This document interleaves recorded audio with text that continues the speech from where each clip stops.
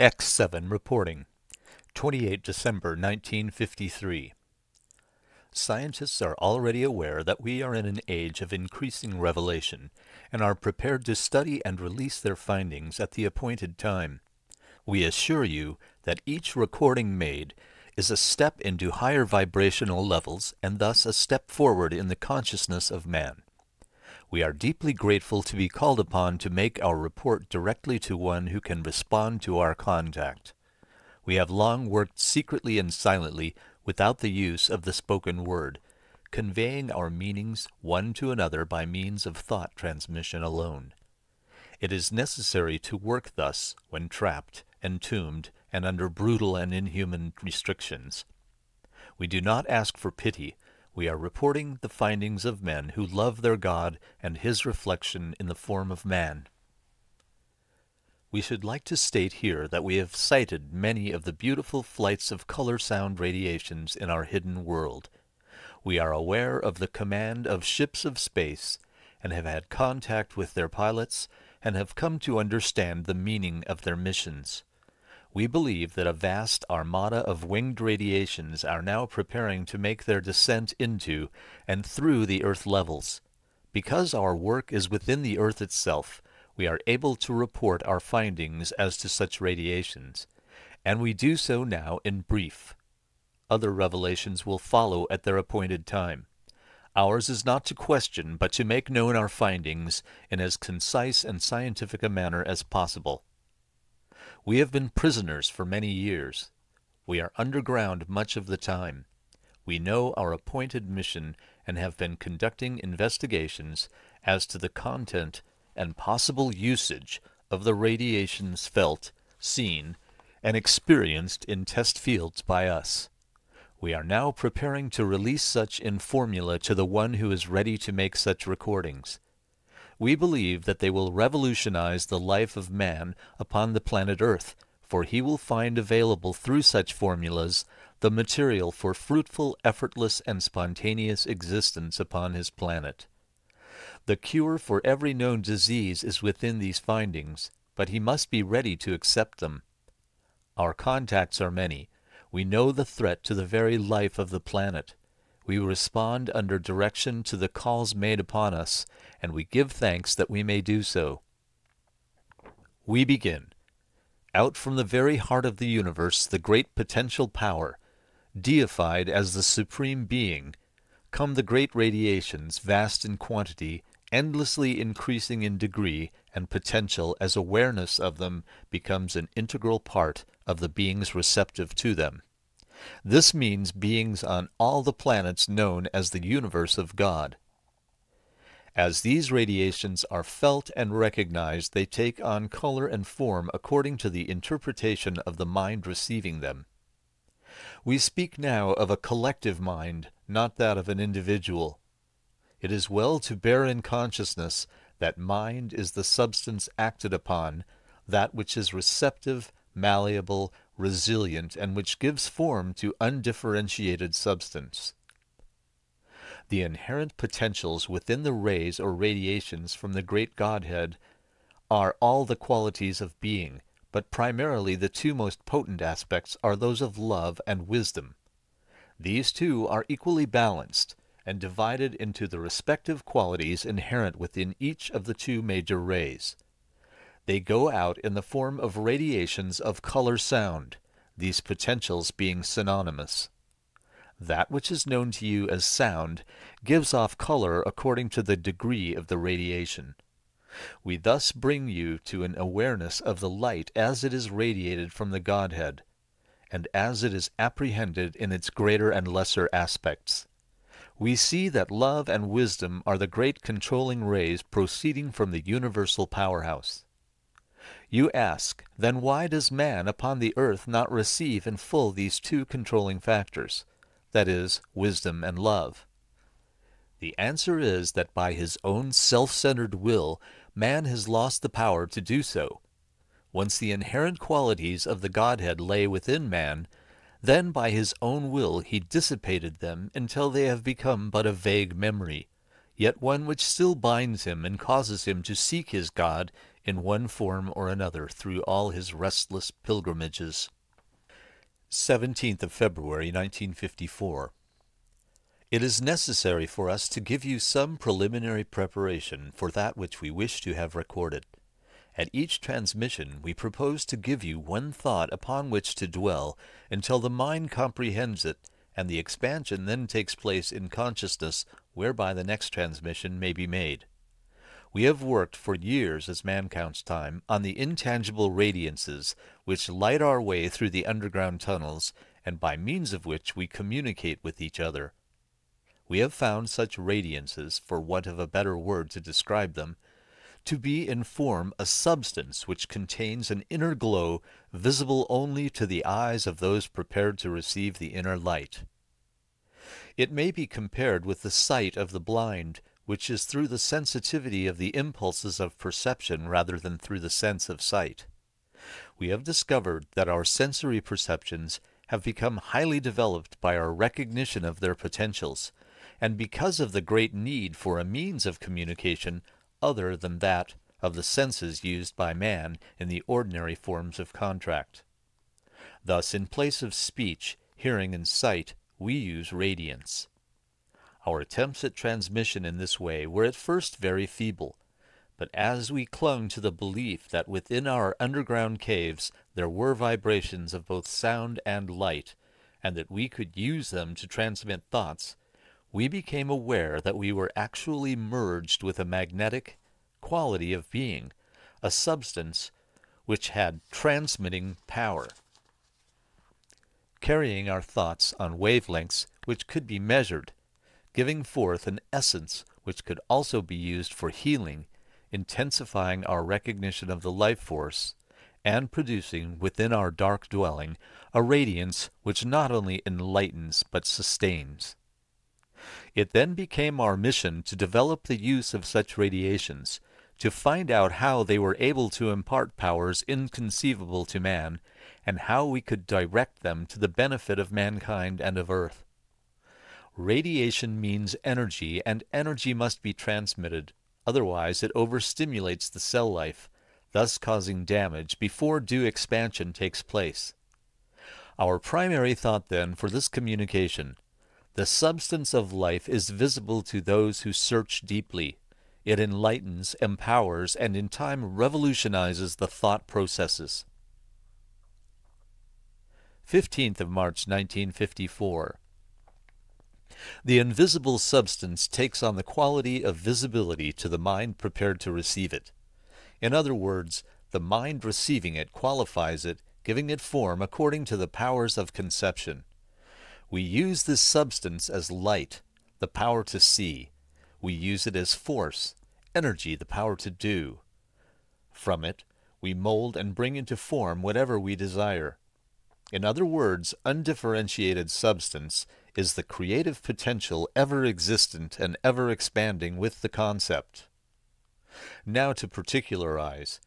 We have found the substance as our light, so we use it as such guiding our way through the darkness, illumining our minds and feeding the cell life of our bodies, so that a mere mouthful of food will sustain us for long periods of time. Thus we live in and upon the very essence of being, because through study and meditation upon it we have found the eternal substance, which is inherent within all form, and discovered by accepting that we may use it. Having found that upon which we can feed mind, body, and soul, we therefore must find a way to make this revelation clear to man who is our counterpart, that he may learn its use without having to dwell beneath the earth in order to do so. Our mission then in contacting a receptive channel is to transmit, in as clear and concise form as possible, knowledge which will help to illumine the mind, free the consciousness, and bring revitalizing power to the body, so that it may be used as man's vehicle of manifestation for so long as he wishes it to manifest. 22nd of March 1954. In our discovery of the radiation, which is equivalent to inner sight, we found that the substance with which we were dealing appeared as a form of radium, which by the force of our thoughts might be molded into any form we wish to give it. We believe we have discovered the true substance of being, the light which penetrates even the heaviest of matter, and yet preserves its essence intact, and is available for the use of man as he brings his thought power to bear upon it. Our studies after this discovery became very intense. We wished to find out by what manner of thought we could inspire this radiation, radium, to work for us. We knew that it was visible to us only by our deep need and our desire to serve our brothers, even though we were entombed within the earth, condemned to hard labor until we died of malnutrition. It was with this thought that we began our investigations, and over a period of time we found that our physical bodies were responding as though they had been fed by a life-giving elixir. Our skins, normally dark and sodden with hard labor and exposure, became transparent and radiant. We found that we could work long hours, study through the night, and yet remain vital and refreshed as though we had taken a potent vitalizer into our bloodstream. This in itself led us to deeper investigation. We were renewed and restored under the more difficult conditions. What then was this substance, and how could it be used to benefit man in his daily living? We began making tests, experimenting by concentration of thought upon the invisible until it became visible in many colored radiations. These were separated as to quantity and quality, and experiments in turn made with them. We found that certain light refractions created certain life-giving qualities. Blue, for instance, was a deeply sustaining quality of being. It had many facets or shades of meaning, but the essence was always the same, to sustain. 14th of May, 1954. We are linked with you in deep concentration.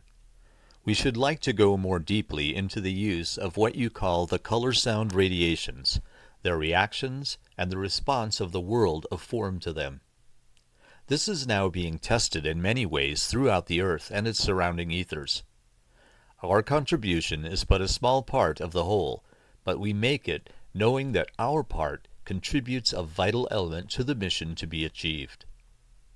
Our last thought was on the sustaining quality within what we call the color blue, which is in reality a composite of radiation manifesting in an exact degree to form that which we have described as the sustaining quality. There are many shades and varieties of the color blue, each having a separate meaning according to the degree of radiation.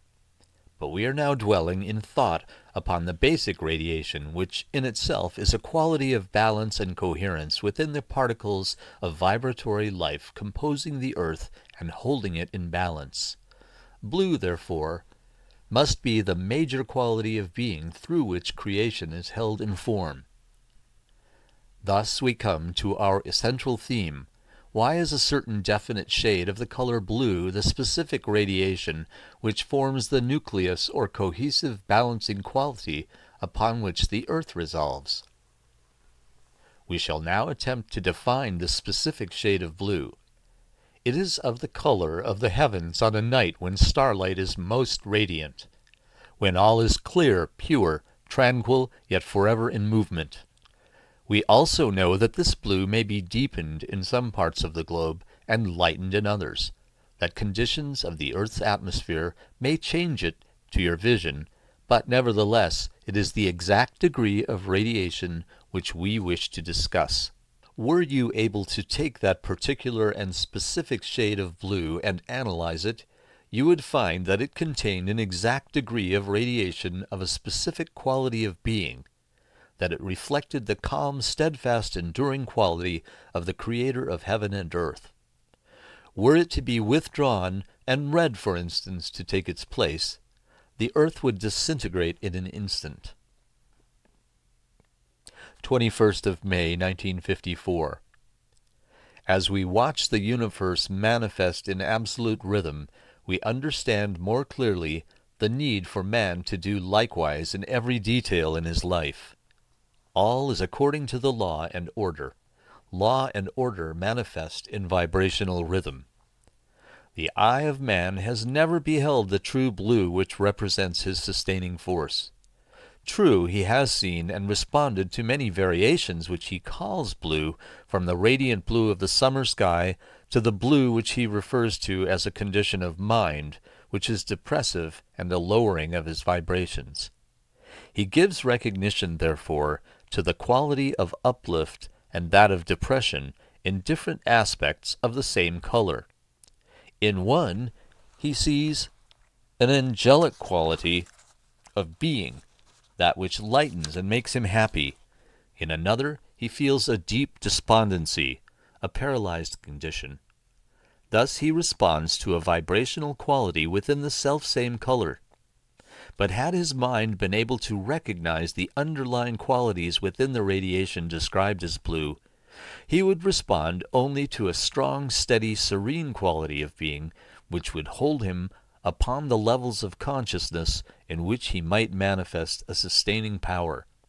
He would no longer be subject to exaltation in one instant and depressive lowering of vibrations in another. He would stand upon his sustaining foundation, mastering and possessing all his faculties of being. This, then, is the esoteric meaning of the color known as blue, the sustaining essence of being. You ask, why then so many variations of the selfsame color, and what are their effects? We cannot go deeply into the variations of the colors, but we can tell you that the aura of being giving forth the radiance of blue will stabilize and render the forces around it vibrationally poised, sustained, and strengthened, thus manifesting the power inherent in the radiance.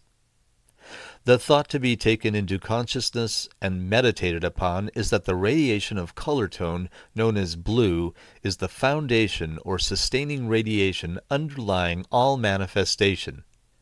In it, we may stabilize our vibrations into control over whatever we bring forth by the powers of our thought. 14th of June, 1954. In our world of form there are limitations, but in our world of expression none, for we know that we can make contact with those who dwell forever in higher dimensions of being, and receive from them what is needful. In so doing, we expand beyond the limitations of form into a vast field of awareness, which is forever unfolding new vistas. Today we wish to share with you another aspect of the color sound radiations. We note that you have used the term sound as the basic equivalent for color. We prefer tone, for tone applies to sound and to color as well. The sweet sound of an evening bell gives off a radiation which is many-colored. Each tone has variations of its own. Thus, tone implies color shading and vice versa. Having found the sustaining substance within the light, we are now aware of much that is as yet a mystery to the mind of man. We have found a basis upon which to rest our findings, a knowledge that substance is inexhaustible, usable always to the degree to which man gives recognition to it, and with a degree of radiance indicated by the color tones. Thus, if we choose a clear, pure blue, as of the night skies, we can rest at ease in its essential power to hold and sustain, while we make trials of the potentials within the color tone radiations as they are presented to us. You ask why are they presented, for what reason, and to what purpose? We can only tell you that after a nightmare of loneliness, of being cut off from all communication, so it seemed, with our world of form, we began to pray earnestly for a reason as to why we were so entombed. What was the purpose? Had God deserted his faithful servants? Were we to be cast into darkness for the rest of our mortal lives, unable to serve him? Were we to be beaten and kicked, crucified unto death, without being able to defend ourselves in any way? At the end of a torture beyond description, the answer came, not as we had expected, but by a light appearing in a corner of our underground hovel, first a mere flickering, then a clear, radiant blue beam. At first we rejected it, believing it to be the hallucination of a distorted mind. But all saw it, all were led to contemplate and ponder upon its meaning. It had no unearthly glow, but was clear and strong. It became, after weeks of study, a symbol, a star of hope, brilliantly blue, shining in the darkness as a beacon light, leading us onward. Thus was the symbol given us. Thus were we prepared for what was to follow. 8th of July, 1954. Our next step, therefore, was to find means of conveying the results of our investigation into a level or layer of consciousness, that is, vibratory thought waves, at which the scientific mind could absorb them and pass them on to the massed consciousness in such form that they would appear to be a part of the natural existence of man on earth. But before the initial step could be made, it became apparent that man was bent on destroying himself under the illusion that he was creating weapons of protection. This involved further, more dynamic action. A way must be found of distributing the radiation of color sound into large areas and by means of phenomena which would attract the attention of the mass mind, causing it to think in terms beyond the accepted concept of manifestation on earth levels. We by no means wish to imply that we are the inventors of the so-called spaceships, but by deep concentration on the radiations which are transported by them, we came into contact with them and were able to widen our studies and to help bring about the present manifestation. 27th of August, 1954. Now we shall proceed to transmit a specific thought for you to reflect upon. The mind of the individual and the field of consciousness to be explored must be attuned to an exact degree before release of radiation can take place, and before the light waves, traveling at a specific rate in circles, can reach the consciousness and expand it to accept the ideas thus projected. Thus, each solar being on each ship of any given flight must be illumined or receptive to radiation in specific degree before flight experiment is permitted. The speed of the light wave has to be considered because the higher one goes into fields of light, the greater the speed, and it could be compared to being struck by a bolt of lightning unless the whole of the being is prepared for such transmission. Once the specific degree of radiation is established, it becomes a group voltage and a color tone may be sent through the field of transmission and directed to create certain specific effects. 6th of September 1954. You have been experimenting with what you call color tone and its uses in effecting changes in the earth and within the ethers surrounding it. We shall attempt to give you a definite thought form in regard to the use of so-called color tone. You may take it thus. All is light, light is radiation, radiation becomes color and or tone. The two are equivalent. Example, the light descends. It descends in circular forms from the point from which it is spontaneously projected. It is an intense white light, heat, but as it continues to expand in circumference, it becomes slowed down in relative motion and appears to take on both color and tone or more precisely, it radiates as such to the consciousness that comprehends it. Premise. It must then have a point or apex in degree in order that it may be released in form, or as specific light waves. It must have an objective, or there would be no purpose in releasing it. It must manifest according to its nature, which reveals itself according to the degree of receptivity. Its manifestation as color and tone carries with it specific degrees of radiance, which are related to the qualities of being as understood by the human mind. Therefore, in order to become aware of the qualities inherent within the degree of light so released, man must become conscious of the reason for projecting it upon, through, and around the planet Earth.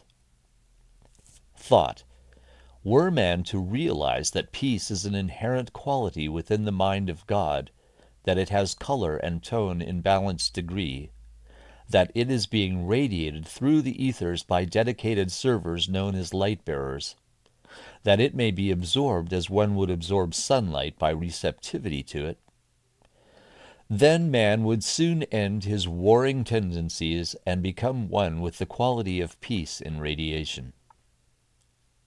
16th of October 1954. Conflict in the mind of man is followed by conflict in the elements. The etheric envelope of the earth can only be harmonized by an exact degree of radiation from the causal realms, linked with a harmonious vibrational condition as a projection of the consciousness of the man of earth. You ask, how is the vibrational condition achieved when man is agitated, fearful, and insecure? It cannot be. However, the descending substance elements cannot be deterred by the state of consciousness in which man finds himself, and their releases are constant. The color tone, which is their quality of being, will eventually do its work. We spoke of the color tone quality of peace, the sustaining power of the blue radiation, but neither the color tone nor quality can be effective unless the mind receptive to them harmonizes with them. 30th of October 1954. Learn to harmonize all conditions around you by learning to absorb the incoming color tone radiations and to release them as a subconscious habit. Were children taught the meaning of the color tones as they are taught to read, vibrational harmony would be established very quickly. All ideas come from the mind of God or the universal realms of the all knowing. Therefore, man is at liberty to draw upon them at any time, testing and substantiating his findings by manifest evidence. Our desire is to bring the cosmic or higher dimensional response into form for the use of man on earth in the transitional period which is now a part of his progress. We can do so in several ways by directing radiations which help to expand and quicken the understanding. By placing on record, as you are now doing, the findings which will help to substantiate that understanding, and by a process of light descent into the pooled reservoirs so that the solar substance may be drawn upon in time of great need. After much study, it has been revealed that within each color tone there is a principle of being, a quality which is in essence the very nature of being. We have said that blue is the foundational substance and that the substance of being reflects the color blue. The quality of substance is strength, reflected in tone throughout the stratosphere and the etheric light wave currents surrounding the earth. Each major color of the spectrum is a reflection of the qualities within all being, and each is as a lighted lamp to the man of earth so that he may see his way into the vaster expanse of being and harmonize with it. The tonal qualities of the spectrum are only vaguely grasped by the human mind. Man feels inharmonious, ill at ease with his surroundings, but blames it on some condition, person, or thing.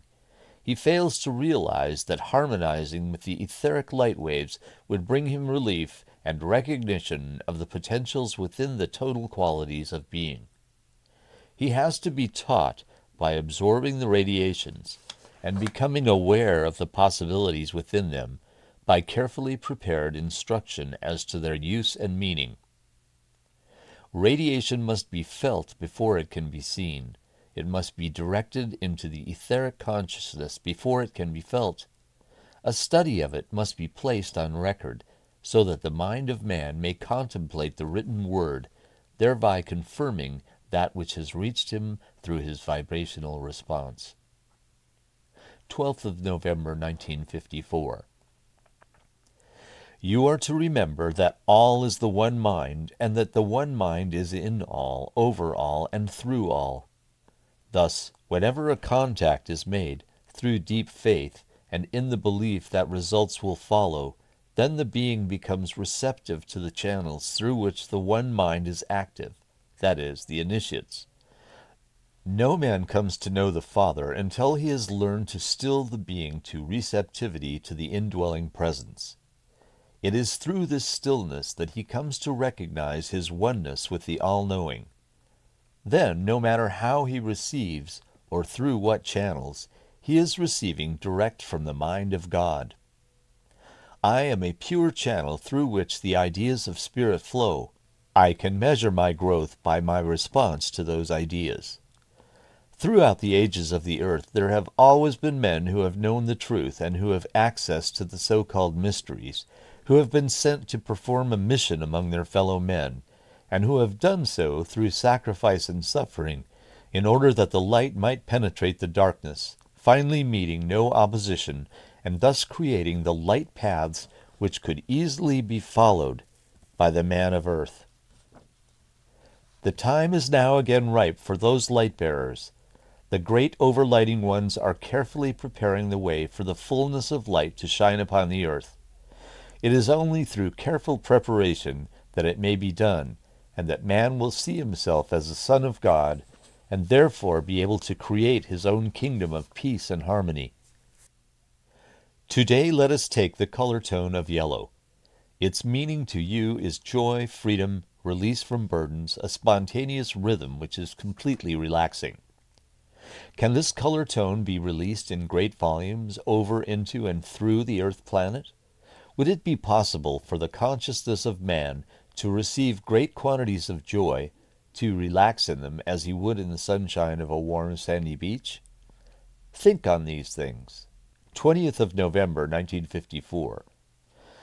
Now, as to the use of solar radiance as we have tested it in our workshops, Solar radiation is applicable to all which appears in manifestation, yet is in itself an invisible condition of being, relating to the movement of the light forces throughout the universe. Thus it is distinguished from what you know as solar substance, which is vitalizing quality of being, now being released into the earth's ethers for the specific purpose of enhancing and transforming all that pertains to each manifestation until a planet becomes enlightened. We have found our underground dwelling, which has been extended far beyond the knowledge of those by whom we were incarcerated, completely illumined by a bluish quality of light which took on a variety of colorings according to our thoughts or in response to our spoken word. This seemed proof to us that we were inducing by our thought forms or by our tone of voice certain light reflections. These changed only when we changed the principal character of our thought projections. For example, despair or dark brooding thoughts carry with them heavy grayish black coloring. Longing for outside world conditions would bring them greenish brown lights, which were distracting and very unsettling. Physical conditions of pain or lack of ease would reflect in a sulphurous light, which gave off an odor as well as color. If the tones of our voices were weak, uncertain, speaking of lack, fear, irresolution, or any quality unlike that represented by faith, the atmosphere around us would produce a kind of singing sound which was extremely irritating, lacking both harmony and rhythm. 27th of November, 1954. The first results of our findings were negative because we were prepared only for the negative. We worked through many testings and much which was apparently detrimental before we began to be aware of a vast field of exploration which could and did open new vistas of livingness for us. Our first awareness that we were actually responsible for the condition in which we found ourselves was when, after deep prayer and a united willingness to improve our situation, we found that we were overlighted by a presence, a very great presence, full of color, who began speaking to us. As he spoke, we found that we were able to see his radiations.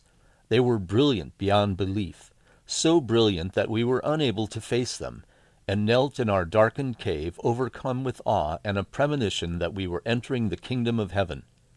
This belief brought with it the thought that we were about to lay aside our physical bodies and a great fear came upon us. We begged to be allowed to stay in our world of form, no matter how limited, until we knew more and could be of some use in it. The Presence again came and spoke to us. He said that within each of us was the power to overcome death, that we might dwell in bodies of light and bring that light to mankind, were we willing to make the sacrifice. He reminded us that he had gone from the cross to the tomb, where he had lain in darkness, deprived of bodily functioning. He then told us that the Spirit, whom he knew to be the greater self, spoke to him and admonished him, reminding him that he had cast out devils, healed the sick, and restored the blind to sight. Was he then to permit his power to lie dormant because he could not function in a physical form? His was the great testing, for through the power of the Word he had to reassume the form which had been laid out in so called death, and prove to the world that this was possible. He began then to use that power, deliberately calling forth the elements which made up the physical body. He knew the power of the Word, but this was his supreme test. He continued to visit us and to give us details of that supreme experience. We were still afraid to face the great Master, but with each visit a flood of light filled us, and we were aware that we were seeing in the dark many wonderful colors, that we were hearing tones which awakened the cell life within us to renewal, that we were where we were for a purpose, and until that was fulfilled, we could not go. 3rd of December, 1954. It was some time before we could bear the radiance which proceeded from our beloved. The rhythm was such that we could not rise from our knees, much less face the light that came from him.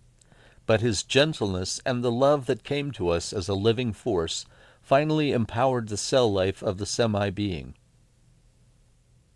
But his gentleness and the love that came to us as a living force finally empowered the cell life of the soul being, and we came to gaze upon his beautiful features and to listen to his voice in the stillness as we visibly expanded under the radiance. His first instruction to us was that we were there for a specific purpose, that we had been chosen to make this experiment, and that he would help us to understand the lives which made this life possible. He explained, in simple terms, in our language that we were to reattempt what he had accomplished 2,000 years ago, so that man might have understanding of the light, and might come to live in it and express himself through it. He told us that his earthly life, as recorded in the New Testament, was to prepare man for this test 2,000 years later. He also told us that the New Testament record was incomplete, partial, but that as it stood, it had become the Word, for man through the centuries.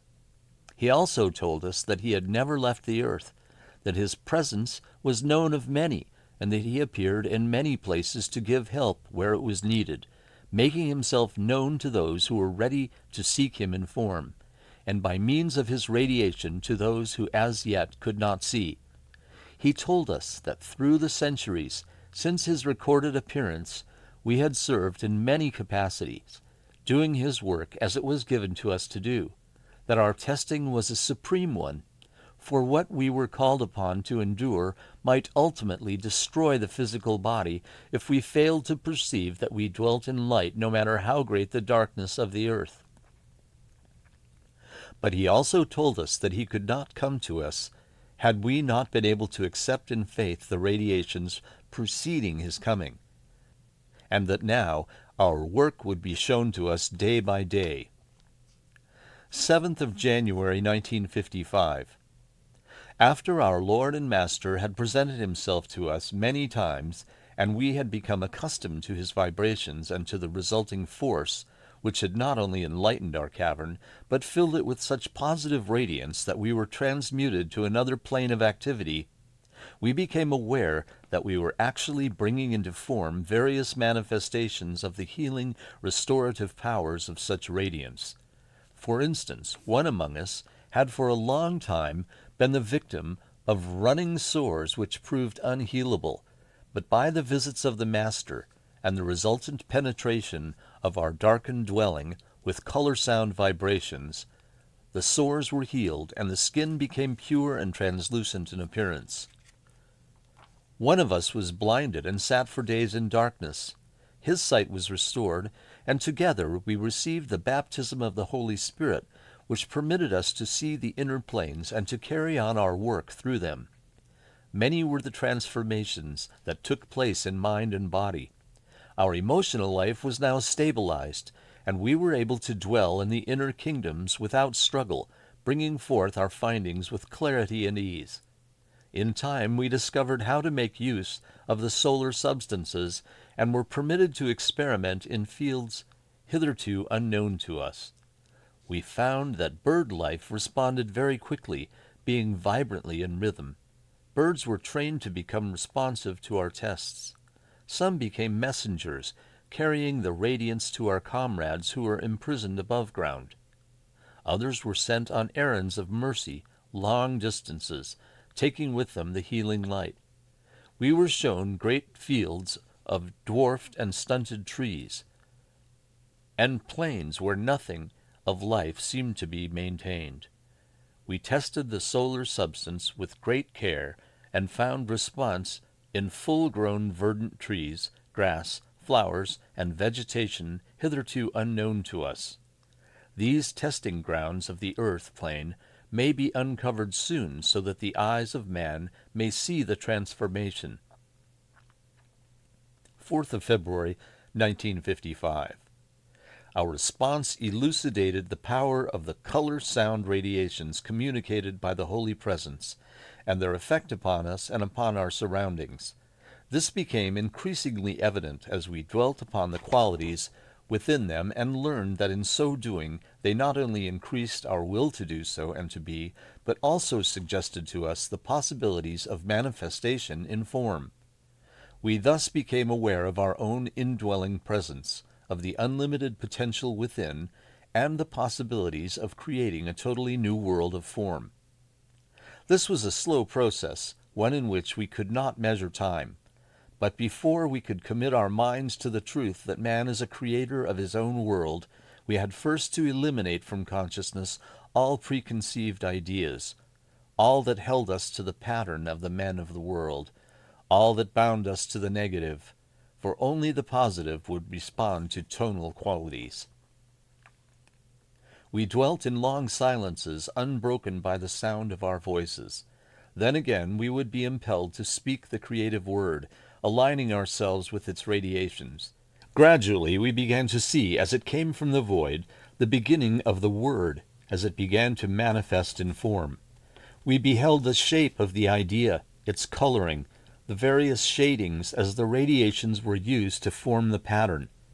We saw it as though in embryo, a faint but nevertheless distinct impression of our thought forms as they were infused with the power of light the radiations then began to increase in brilliance, and slowly we perceived that we were dealing with the actual substance of being, unformed, undifferentiated, lending itself to increasing fullness to our thought forms. We then were able to see the necessity for the long ordeal of erasing all that was unlike the pure essence of the solar substance. It could only be conceived when met on its own level of being, it became malleable and responsive to thought only when that thought equalized with its inherent awareness of pure being. We could not use it to create our desires in form unless those desires were as clear and pure in essence as were the radiations from which they came. It was a long, laborious task to raise our minds to the same degree of radiation. It meant constant watchfulness of every vibration sent forth, the enemy was ever with us, injecting the poison of misconception, using every allure of the flesh to conquer the man of spirit. But when we found the opposing forces too intense, we dwelt upon the love of God, as manifest through his messengers throughout the ages known to man. Also, we came to meet these great masters on their own level of being, we came to know that we were earth beings because we had so chosen, but that we might meet and mingle with beings of other planets, learning from them again, so it seemed, the truths which were a part of our inner awareness, but dulled by our life in physical form. Practice of the presence of the Holy One is a necessity, for through them one learns to vibrate in harmony with the celestial radiations. 11th of February, 1955. Greetings to our beloved workers in the light who accept without witnessing, believe without proof. To recapitulate, we discovered that our color radiations were in direct relation to our state of consciousness. If it was low, then the vibrational colors were dark and gloomy. We discovered that we could bring about glorious colors in our darkened world by the power of thought. We discovered that our bodies were healed by the radiation of light in color and tone, as directed to us by our beloved. We discovered that we could manifest from the substance of being through the tonal qualities of the radiations that which was necessary to our well-being. Thus we were prepared to begin to experiment with the use of substance in undifferentiated form. Pure substance of being acted upon by pure thought became a work of art, a curative essence.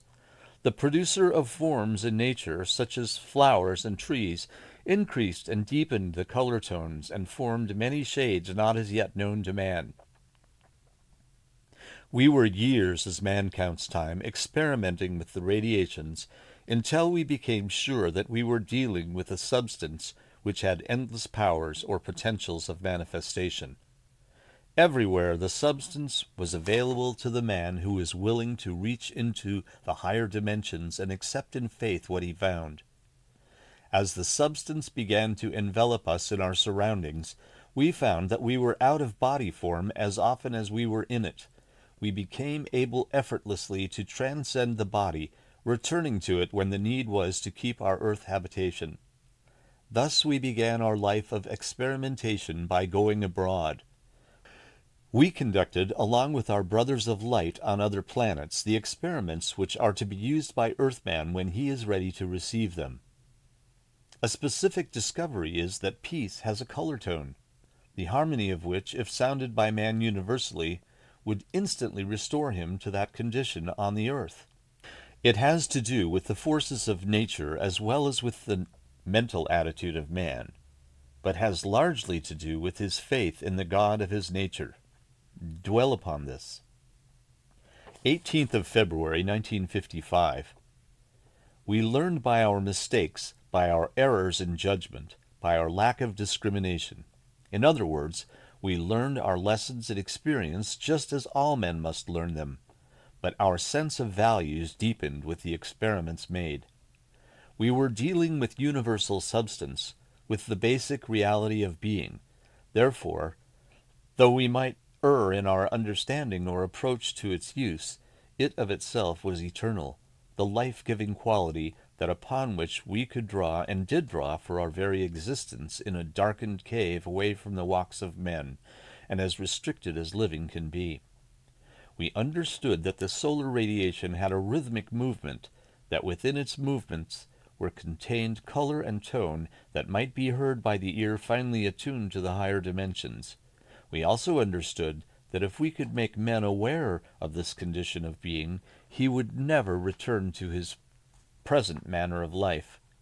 We were faced, therefore, with the necessity not only of continuing our experiments, but of finding a way to make them known to man on the subjective planes, so that he might discover for himself that which we knew to be the very law and foundation of his being, and thereafter would begin to manifest the results of such knowledge. Just as naturally as he ate, breathed, and slept, he would create from the pure substance of being the ideas which through his creative ability he could bring into manifestation. Long, arduous days and nights were spent in theorizing over how we might be able to bring to the consciousness of man knowledge now needful for his survival upon the planet on which he finds himself.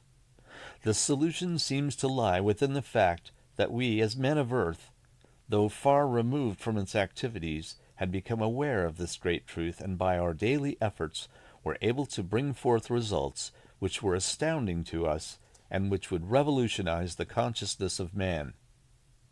Our contacts with beings of other planets made it clear to us that we could learn from them how they had achieved such results, how they applied what they knew as reality to their objective life, how watchful they must be in so doing, for while they were evolved far beyond the awareness of the Earthman, yet they too had their problems, among them the restoration of the solar being as it left the Earth plane existence and came to their planet, and or planets. for recuperation, and for teaching.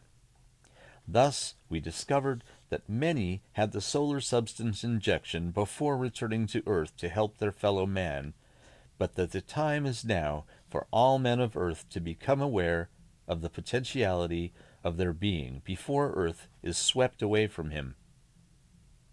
25th of February 1955. Color and tone, as you have been told, are the direct results of the vibration of light, that is, radiation. Solar radiation is the power within the vibration. Color and tone are the concomitants of such radiation. As they increase in speed or in high dimensional quality, they become more vibrant and therefore more brilliant. They are then unrecognizable to the man whose consciousness is not in tune with the higher vibrations. Were they to be seen, they would appear only as brilliant white light, which would be unbearable in its intensity. Solar radiation, therefore, must be relayed to the man of earth in a degree which will not prove injurious to him. It must also be radiated in such a manner that resistance is not set up to it, which could easily be the result of a higher degree of radiation than his body's physical, mental, or emotional can sustain. It is therefore a very delicate manipulation to learn how to use and to earn the right to use the solar radiations, to interpret them as to their tonal qualities, and to relay them into the mind of man through prepared channels. Now we through receptivity and daily experiment have tested the degree which we could tolerate and its effect upon the substance around us.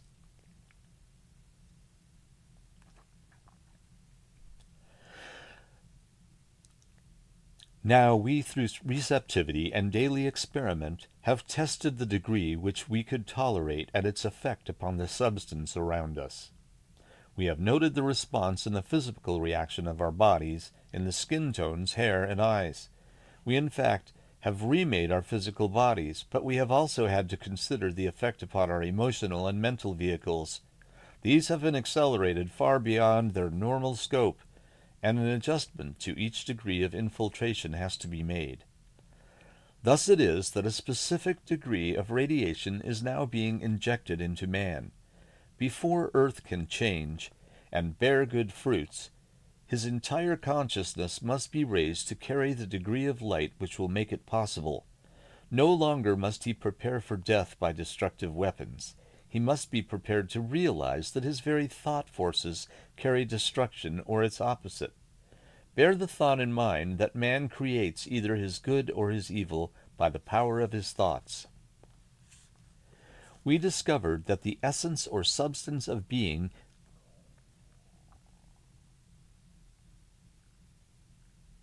4th of March, 1955.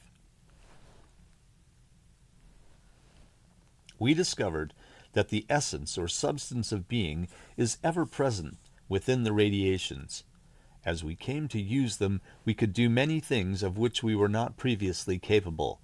The very tones of the vibrations were capable of creating physical ease, calmness of approach, and serenity of mind we learned to attune ourselves to a delicate beauty of sound within the finer vibrations. We learned also to make ourselves so receptive to the light waves as they came to us that we could mingle with them and become one with their radiations. Thus, while we were attempting to record the results of our findings, we became what you might call etherealized. Our bodies were refined to a pure channel for the stream of light now being transmitted to us. Our coarse daily diet merely sufficed to maintain life, but we came to know that we needed very little food in order to keep our bodies strong, fine, and clean. We were at all times absorbing the rarefied essence of the true quality of being. Our auras took on tremendously brilliant colorings, and with such transformation came the ability to translate our consciousness to a place where we could unite with those who were receiving the higher instructions. 11th of March 1955. In all our work, we acknowledge the presence of the Christ in our mind. In all our work, we acknowledge the presence of the Christ in our midst. We knew that without his radiations nothing was possible to us, and with them all things are possible. His coming was our signal to work, to study, to test through experiment, as did he when living among men in the physical form. But we also knew that by giving recognition to his radiations, they became a part of us, and we were uplifted in mind, healed in body, and made receptive in heart to the greater teachings. We knew that man must first learn to live with his fellow men before he can become aware that he is a spiritual being and can wield the light. The light in itself is an impersonal force and may be wielded as a destructive weapon as well as one which brings forth forbearance, faith, and hope to mankind. We therefore learned to live with each other not without difficulty under such conditions. This was a test of our ability to mingle our radiations, to love, to serve, and to manifest patience. After many tests, we finally became as one man, each acting according to his individual pattern or mold. No two men are alike, each is an individual in God's sight, as are the fingerprints.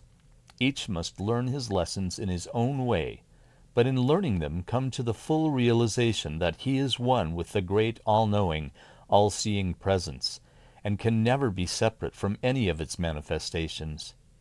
Do unto others as ye would be done by. Love thy neighbor as thyself became our watchwords. Our thought for today Love one another so that you may fully experience the harmony of the vibrations of light. So deeply have we gone into the pain that makes for pure manifestation of the Christ love that we feel the experience of each individual. Nothing is achieved in expression of the love without pain patience, and perseverance. Out of the darkness comes the light, and man cannot give full recognition to the light until he has dwelt in darkness. After repeated tests over many years, we came to know that the finest, most subtle shadings must be used if we were to achieve harmony. And if we could not achieve harmony, how then could we expect to transmit our radiations for the good of all men? Then came a time when we found a subtle blending of forces which would ease tension, dissolve fear, and render the consciousness receptive to the great impersonal love which is the atmosphere we breathe. Mother of pearl, translucently beautiful, with many fine irradiations of the qualities of love, could best reach the consciousness of man. Love is the very substance of being, the foundation of life itself, and the harmony of all spheres in expression. 8th of April 1955. The whole body of man, physical, emotional, and mental, is composed of very fine radiations. That he is unaware of this makes it no less true. The cell life is in constant state of transmutation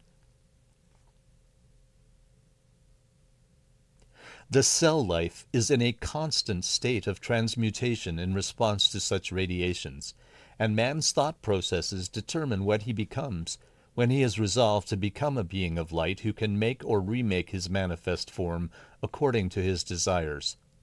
Our desire was, after receiving the presence and becoming aware of his mission, to project radiant bodies which would in turn become servers or saviors of mankind we made many tests throughout the years of measured time to discover how we could manifest in form in the very heart of the earth, delivering it from its condensed state of consciousness, and also delivering man from bondage to that heavy condensation. We knew it to be a matter of vibration, a quality of irradiation which would stimulate the use of accelerated currents of light. But how to enter the earth and project the necessary accelerated currents? we tested by digging deep in our own caves and going in body form to animate the life of the earth. This produced some response, but was actually little more than a man who digs for coal or any other minerals may do. We knew then that we ourselves must be so transformed that the earth would be open to receive us. We began our translation into the finer elements by refraining from the coarse food set before us we began to use the manna from heaven, or the etherealized substance. We partook only of this, finding consolation in the presence, who seemed to be always available. We used the color tone radiations as they had been presented to us, and they became a part of us. We then seemed to go into deep trance, where we beheld the physical body as light and light only. We were shown the heart of the earth opening to us as the womb of a mother opened to receive the seed. We felt ourselves to be a unit enfolded within the earth, and it became one with us. Then only did we feel the transformation of the high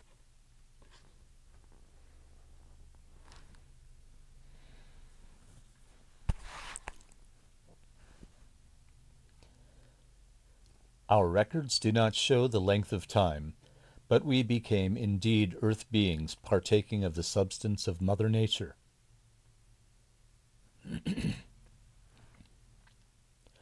Twenty-second of April, 1955. Once we were within the bowels of the earth, we found that they were capable of expansion, of great resilience, which manifested in the spreading of the particles of substance composing what we call earth. It is dense only as the mind of man beholds it.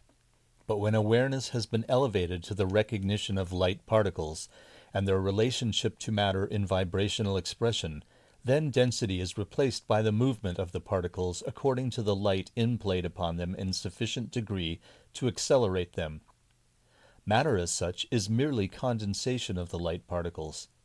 It takes form according to the pattern set by man. He is and always has been the creator of that upon which he lives.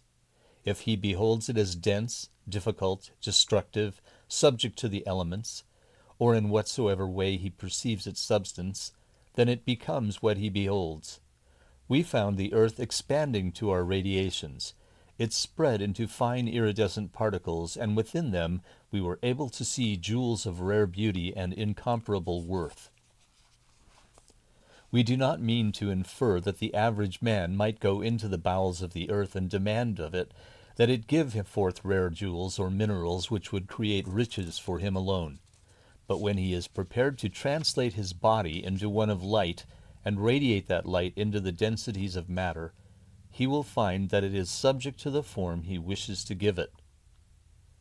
10th of June, 1955. Today we would like to give you a brief summary so that you will again find the rhythm of our response and be able to take our findings literally. As we have told you, we are conscious ever of being in the Great Presence. We abide in His radiations in full consciousness that they are the redeeming force. They appear to us in many variations of the basic colors, and as we see them depicted in various forms and phases, we find the qualities of being clearly assembled for our preview. You would like a further explanation of that statement. It is that we invoke a beam or degree of radiation. It is displayed for us in its varied and numerous shades, which means its various effects when translated into form. We find many manifestations not as yet visible to the eye of man, yet ready for him when he is ready to make them real. This accounts for the many and brilliant colorings now visible in your skies, for as the radiations go forth into the ethers, they become a part of your atmosphere and are absorbed by all who are responsive to them. The next step is for man to realize that such radiations are actually a part of his being and definitely related to his permanence upon the earth.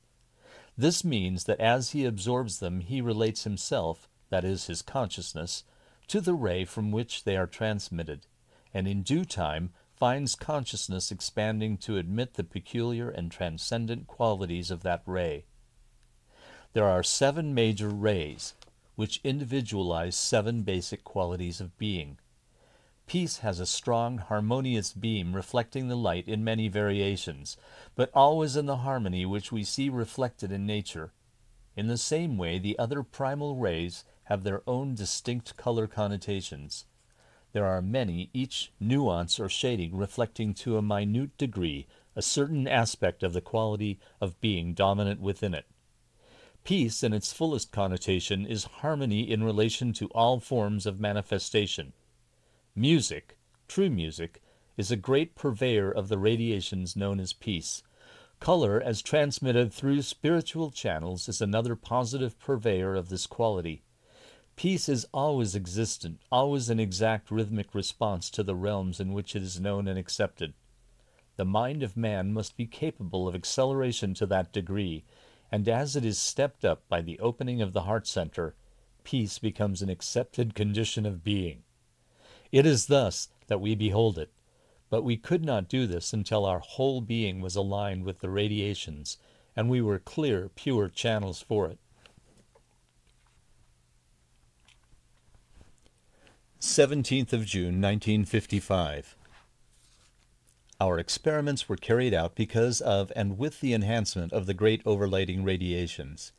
As these came to us in greater magnitude, we were able to interpret more fully the meaning of the qualities within the rays thus displayed. Today we should like to present for your enlightenment an understanding of the ray of love. Love has many qualities and many underlying aspects. We feel love and see its reflection in a variety of forms. But until a deep study has been made of the radiation, as for instance from the man Jesus, one has a very passive and incomplete idea of its meaning. Love in its basic color radiation is a rose pink of an indescribable hue and an unforgettable fragrance. It is beyond our words to give you the inner meaning of the basic quality of being.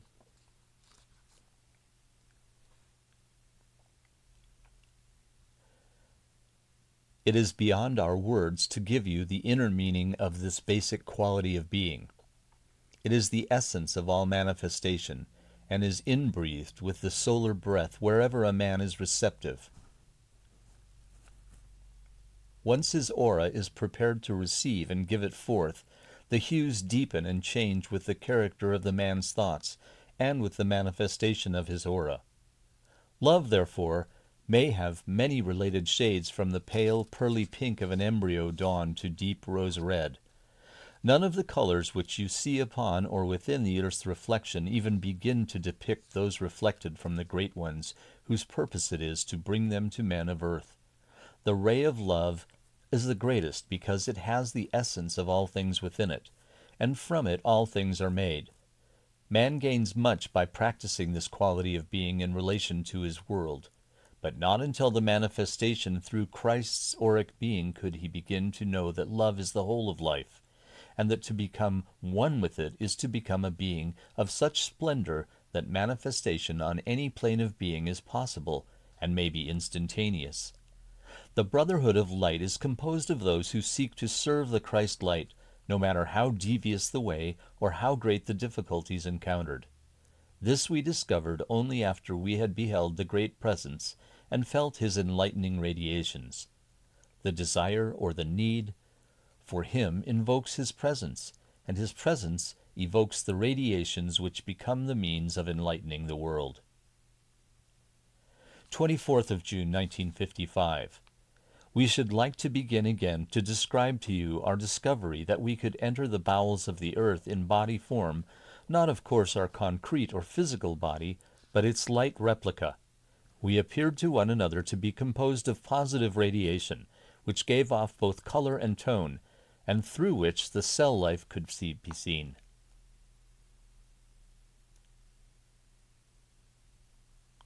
We appeared to one another to be composed of positive radiation, which gave off both color and tone, and through which the cell life could be seen.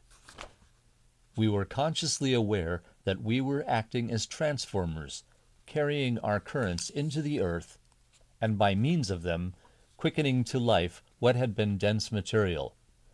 Night after night, as we progressed in our transmission of the radiations and in the transforming, transmitting capacity, we became aware that many changes were taking place. Hard mineral surfaces changed to translucent iridescence, almost blinding in their color tone qualities. Clay dissolved into a finer essence and seemed to be used as a means of sustaining us while we made our experiments. We found that vegetation could be transformed into instantaneous growth and could be taken in liquid form that would sustain life for long periods without the necessity of taking in the coarser foods. This experiment was made in our normal physical forms, thus lessening our desire for the extremely coarse fare provided for us. We tested all our findings in the laboratory of our daily lives. We had to be convinced that we were not partaking of an illusory or dream life, but that what we found in our nightly pilgrimages into the earth could be used in the daily life of man, thus helping to transmute his material being into one of stronger, more penetrative form. Whatever we take into our body's mind or emotional being is used either to create density, a slowing down process, or to elevate our cell life and thus to enlighten and increase our powers. 1st of July 1955. Our experiments within the Earth's surface led us to believe that the fine vibrations which we carried with us in order to penetrate the denser substance were particles of light radiance or solar substance. In other words, they accelerated to a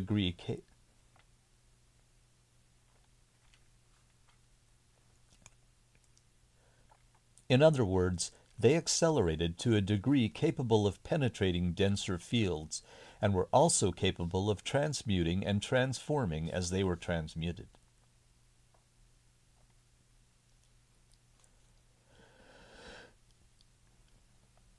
In other words, they accelerated to a degree capable of penetrating denser fields and were also capable of transmuting and transforming as they were transmitted. How they came to be in the exact degree necessary for this purpose was for us to find out. Our first experiments were rough, having to do largely with the need for self-preservation. Then, as we came to feel more at ease within our field, we came to realize that we had not been able to assume the auric vehicles, we could not possibly have attempted such experiments. We came to see and study our auric transmissions, finding within them the subtle radiations which, for instance, would cut through dense matter, would open channels for distribution of color tone. There seemed at first to be a cutting sensation, but as the harmony was established, this reaction disappeared, and instead we found our vehicles manifesting much as they might above ground, in the air or elsewhere. We were light bodies of vivid color and extraordinarily musical tones. We knew no discomfort, but rather felt a harmonious rhythmic state of being which filled us with elation.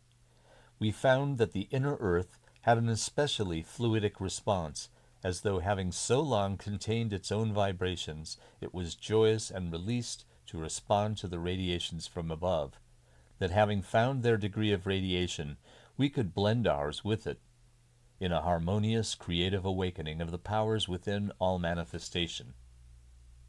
7 July 1955. All mineral content is being changed by the radiations in played, and as men begin to investigate, they will find rare combinations which they will undoubtedly conclude as a new species.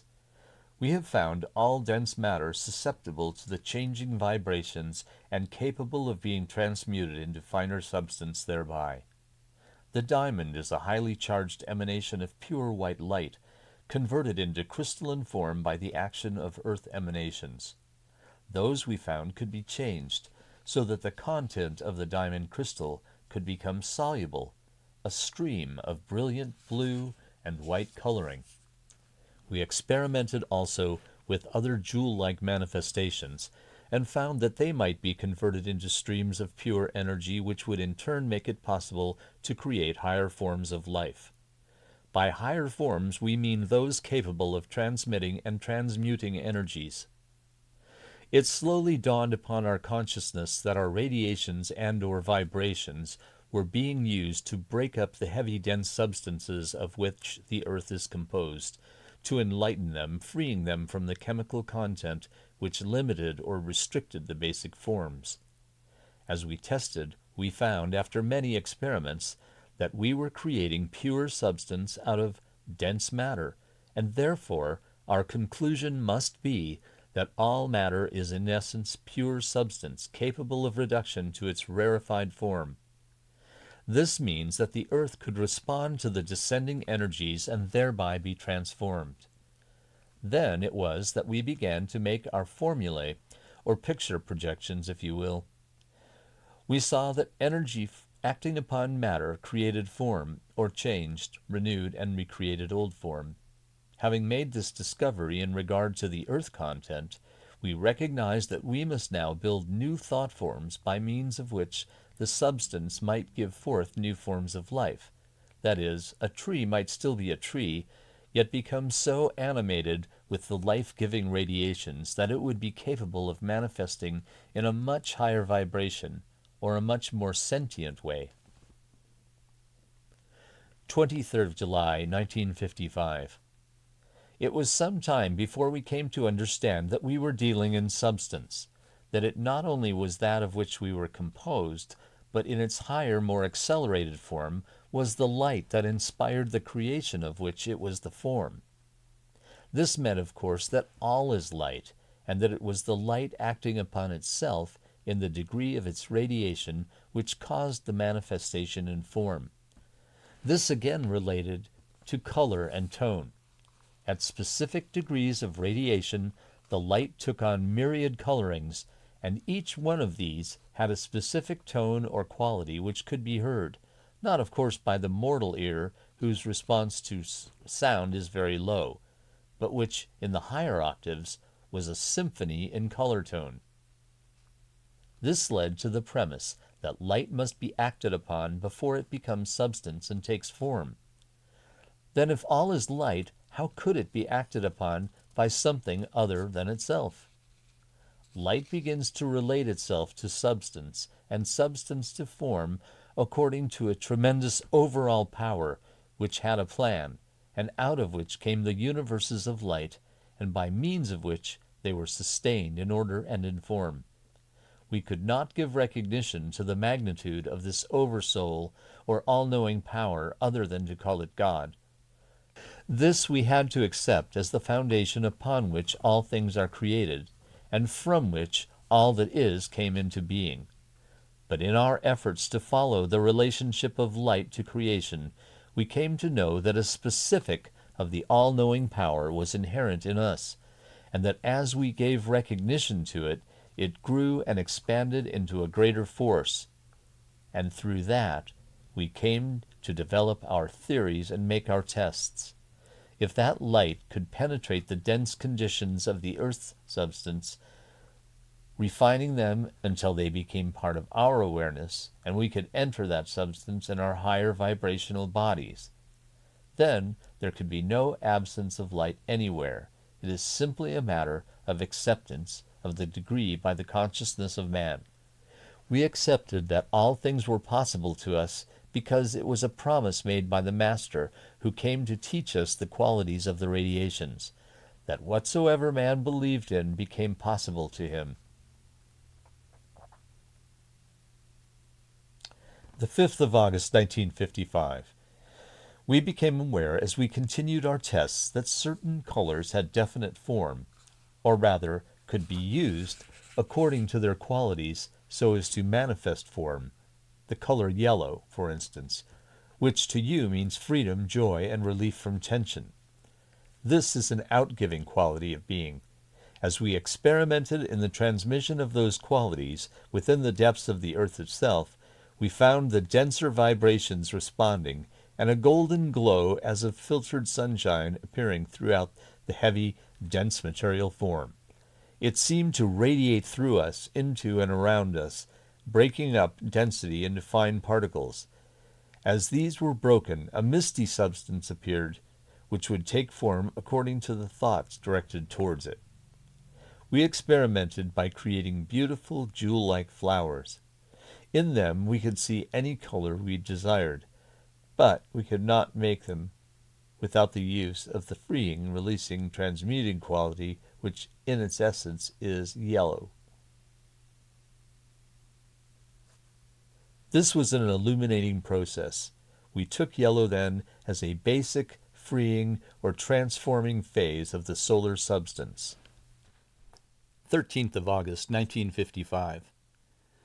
But we had many other tonal qualities to appraise, analyze, and test that with which we had to mingle our radiations in order to make our tests was heavy and dense, inert.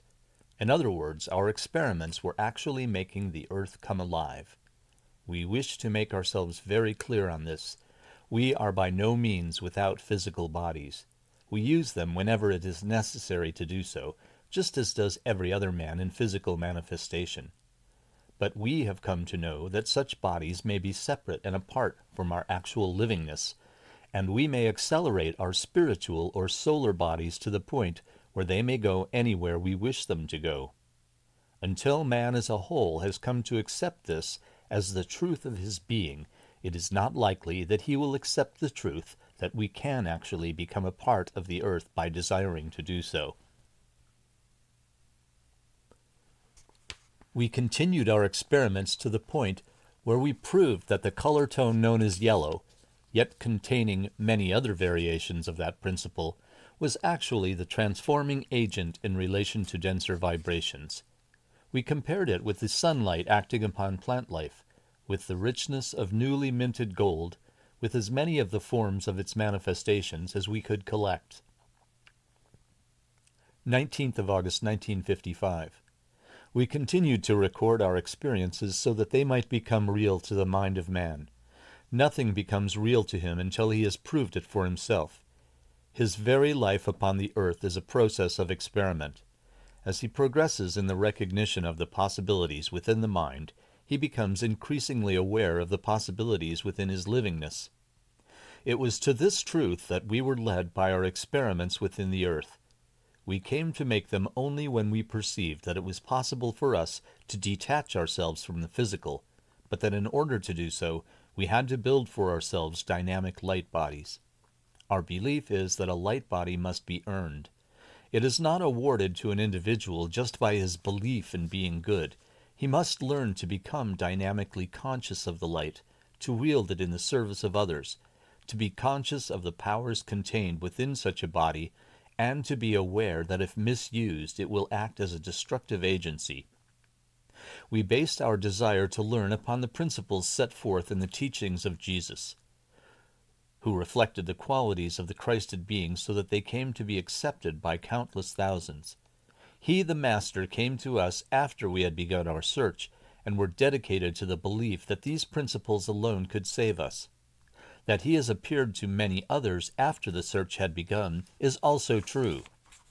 We began to study his radiations, and as we continued, we found within them living qualities which we too might manifest color and tone were shown us in form, and as we made them ours, we became that form.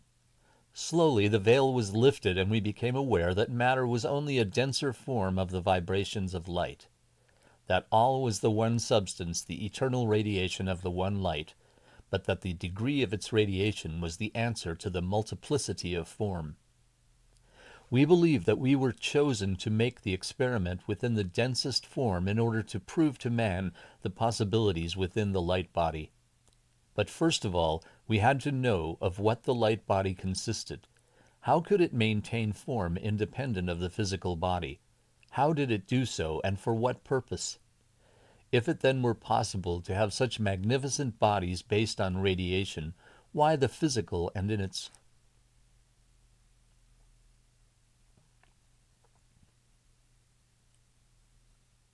If it then were possible to have such magnificent bodies based on radiation, why the physical and its recurrent sufferings? Our enforced confinement and limitation as to food helped us in rejecting the physical demands, but we had to accept our physical bodies as a very real part of our being and learn to use them in accordance with the principles of the body of light.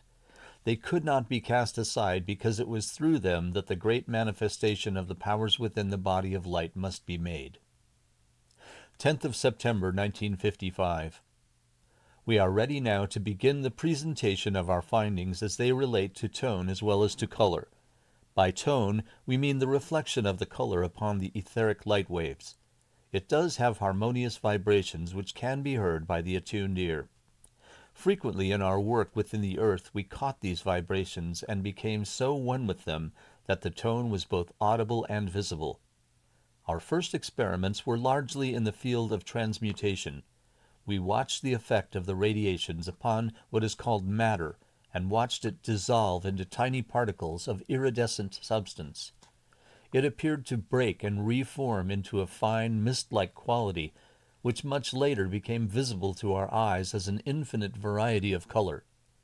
We studied this until we became aware that it was the power of our own thoughts which caused this substance to take form, and that as it did so in varying shades and hues, we could hear these delicate, imperceptible wavelengths as they moved from one form to another. As we continued our investigation along these lines, we became aware that we were living in a world of wondrous harmony. Music was everywhere around us, and we began to be able to associate it with the various color forms. If we desired the beauty of flowers, we had but to think the thought of a rose, a violet, or whatever form we desired. It would appear in fragrant beauty beyond description, and the musical vibrations accompanying it would be those of utter harmony.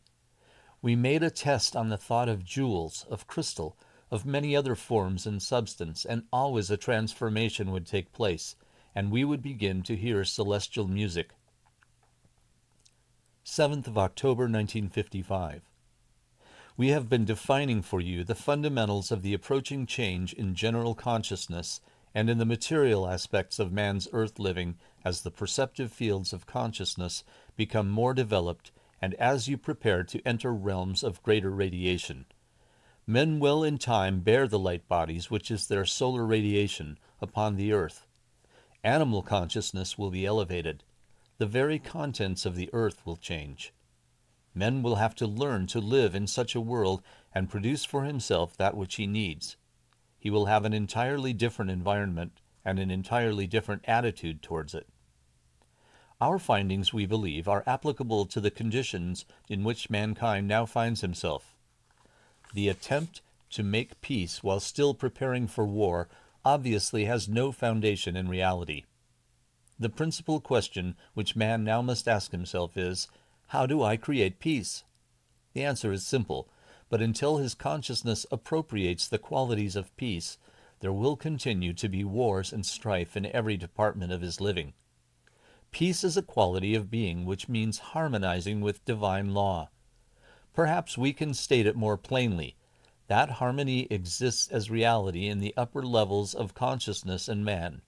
It must reach those levels by means of his thought processes before he can experience harmony and manifest peace as a result. Peace, then, is a vibrational state of being. It has color, tone, rhythm, and balance. It has knowledge of itself as a quality of being, and from it all harmonies proceed. We must come to the conclusion that there are two classes of men those who accept and will the good of all, and those who refuse to give recognition to the spiritual radiations and deliberately choose to dwell in darkness, living for the self as opposed to the one great self of all being. There are many in between those two states of consciousness who might be swayed either way, but in reality, there are two major camps arrayed for the final battle of the earth that of light and darkness.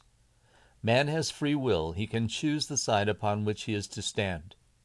But he cannot have peace until he has filled his earth with light, and until all men walk in light, in full recognition of its harmonies. 17th of October 1955. The time is now upon the earth when great changes must come in response to the descent of light, and there is no time but now for man to come to an understanding of his soul powers. They alone can save him from the result of the misuse of such powers.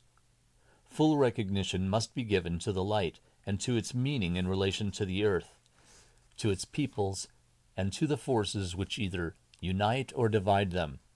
There is a simple and reasonable way for man to contact his good and to make use of it. This way was presented by the Master Jesus and is still being shown through every available avenue by those who serve him. The light descends to illumine the consciousness, but it can only descend through evocation and invocation.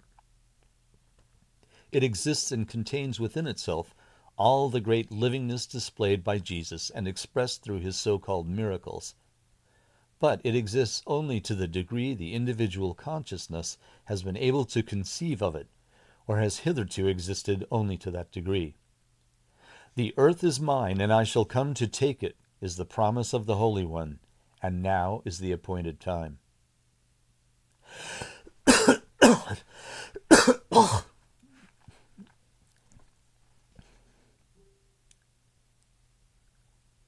21st of October 1955. We have spoken about the approach of mankind to the new era, the expanded consciousness. Our mission is largely to create for man channels by means of which he may make that approach. This is reflected through many channels, some as yet little known, but which will have their full effect as the consciousness becomes receptive. The harmonizing use of color tone is one of these. Soul conscious awareness means that in the upper levels man expresses that which he was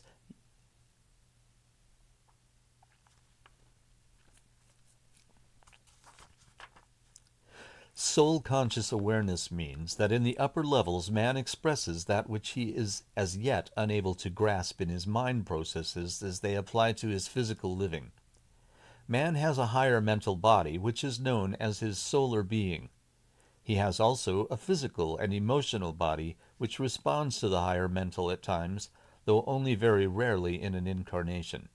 In other cases, a contact is established which permits the individual to carry out impressions given him by the soul or solar being.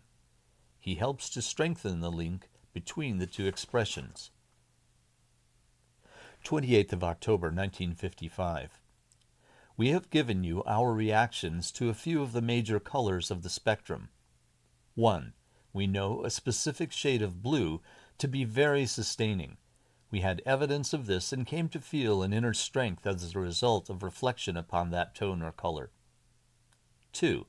No activity took place other than a receptive, concentrated conscious effort to know why we responded thus to a particular color or tone.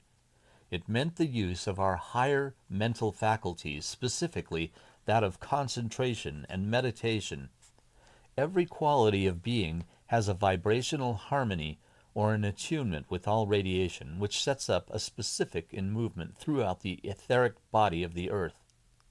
Therefore, if an individual responds harmoniously to a color tone, he is at one with its vibrations, and they may be used to change his physical vehicles adapted to the higher radiations, and also to alter his emotional responses because of his vibrational alignment with their harmonies, and to expand his mental powers through the impact of the energies contained within the specific of vibrational radiation.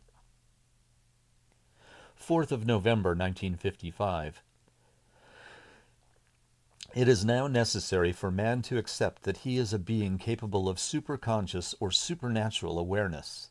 His denial of this truth will only place him beyond the point where help may be given him. When he accepts his God given potentials, he has then become receptive to the qualities inherent within them and is ready to change his vibrational response to the upper levels of being. How is this done? By becoming responsive to the elements contained within the radiation of light. The light descends as it is invoked by man's acknowledgement of it and his receptivity to it. He may invoke it through prayer or supplication to the Supreme Light, the God whom he has been taught to worship. In this way, he comes slowly to an awareness of the greater light of which he is a part. He may invoke this radiation by a process which is deep within his soul and which causes him unconsciously to vibrate or harmonize with the qualities emanating from the Supreme Life. The elements contained within the radiation of the light are imperceptible to the eye of man. True, he sees color in the forms of nature, hears purity of tone in musical compositions and is uplifted to the degree that he is responsive to them. But he does not know that both are the result of the reflection of the harmonies of being on an octave higher than that to which his present consciousness has reached. There have been individuals in every age who have been aware of the divine elements and have given the man their interpretation of them in the arts, but their true inspiration is not known. 11th of November, 1955. In order to begin to live on the plane of higher mental response, man must believe that such a condition of being is possible. Man, for the most part, believes in a divine presence, one that rules over him in great wisdom and great power. But he is not as yet ready to accept that this divine presence is within his self, and may be reached by searching deeply within the planes of his being to find the good for which he longs We were exactly at this point in experience when we were incarcerated and for the most part entombed within the earth itself. We believed in a God, but a God afar off, one who might or might not listen to our pleas for relief from the horrors of our incarceration. It was not until we had begun to believe in the manifestation of the divine powers that we came to see all things are possible unto him who believes. It was then that we began our testings of the powers of light as it irradiated our darkened chambers, appeared to us in color, tone, and form, became, as it were, our Savior, offering redemption from the confines of our prison walls, but by a means we had never before dreamed of and which could only be tested as reality according to our belief in such means. The radiation brought its own enlightenment. We were then touching higher mental levels sufficiently to begin to experiment with the color tones as they came to us. We perceived that they uplifted the consciousness, causing physical changes as well.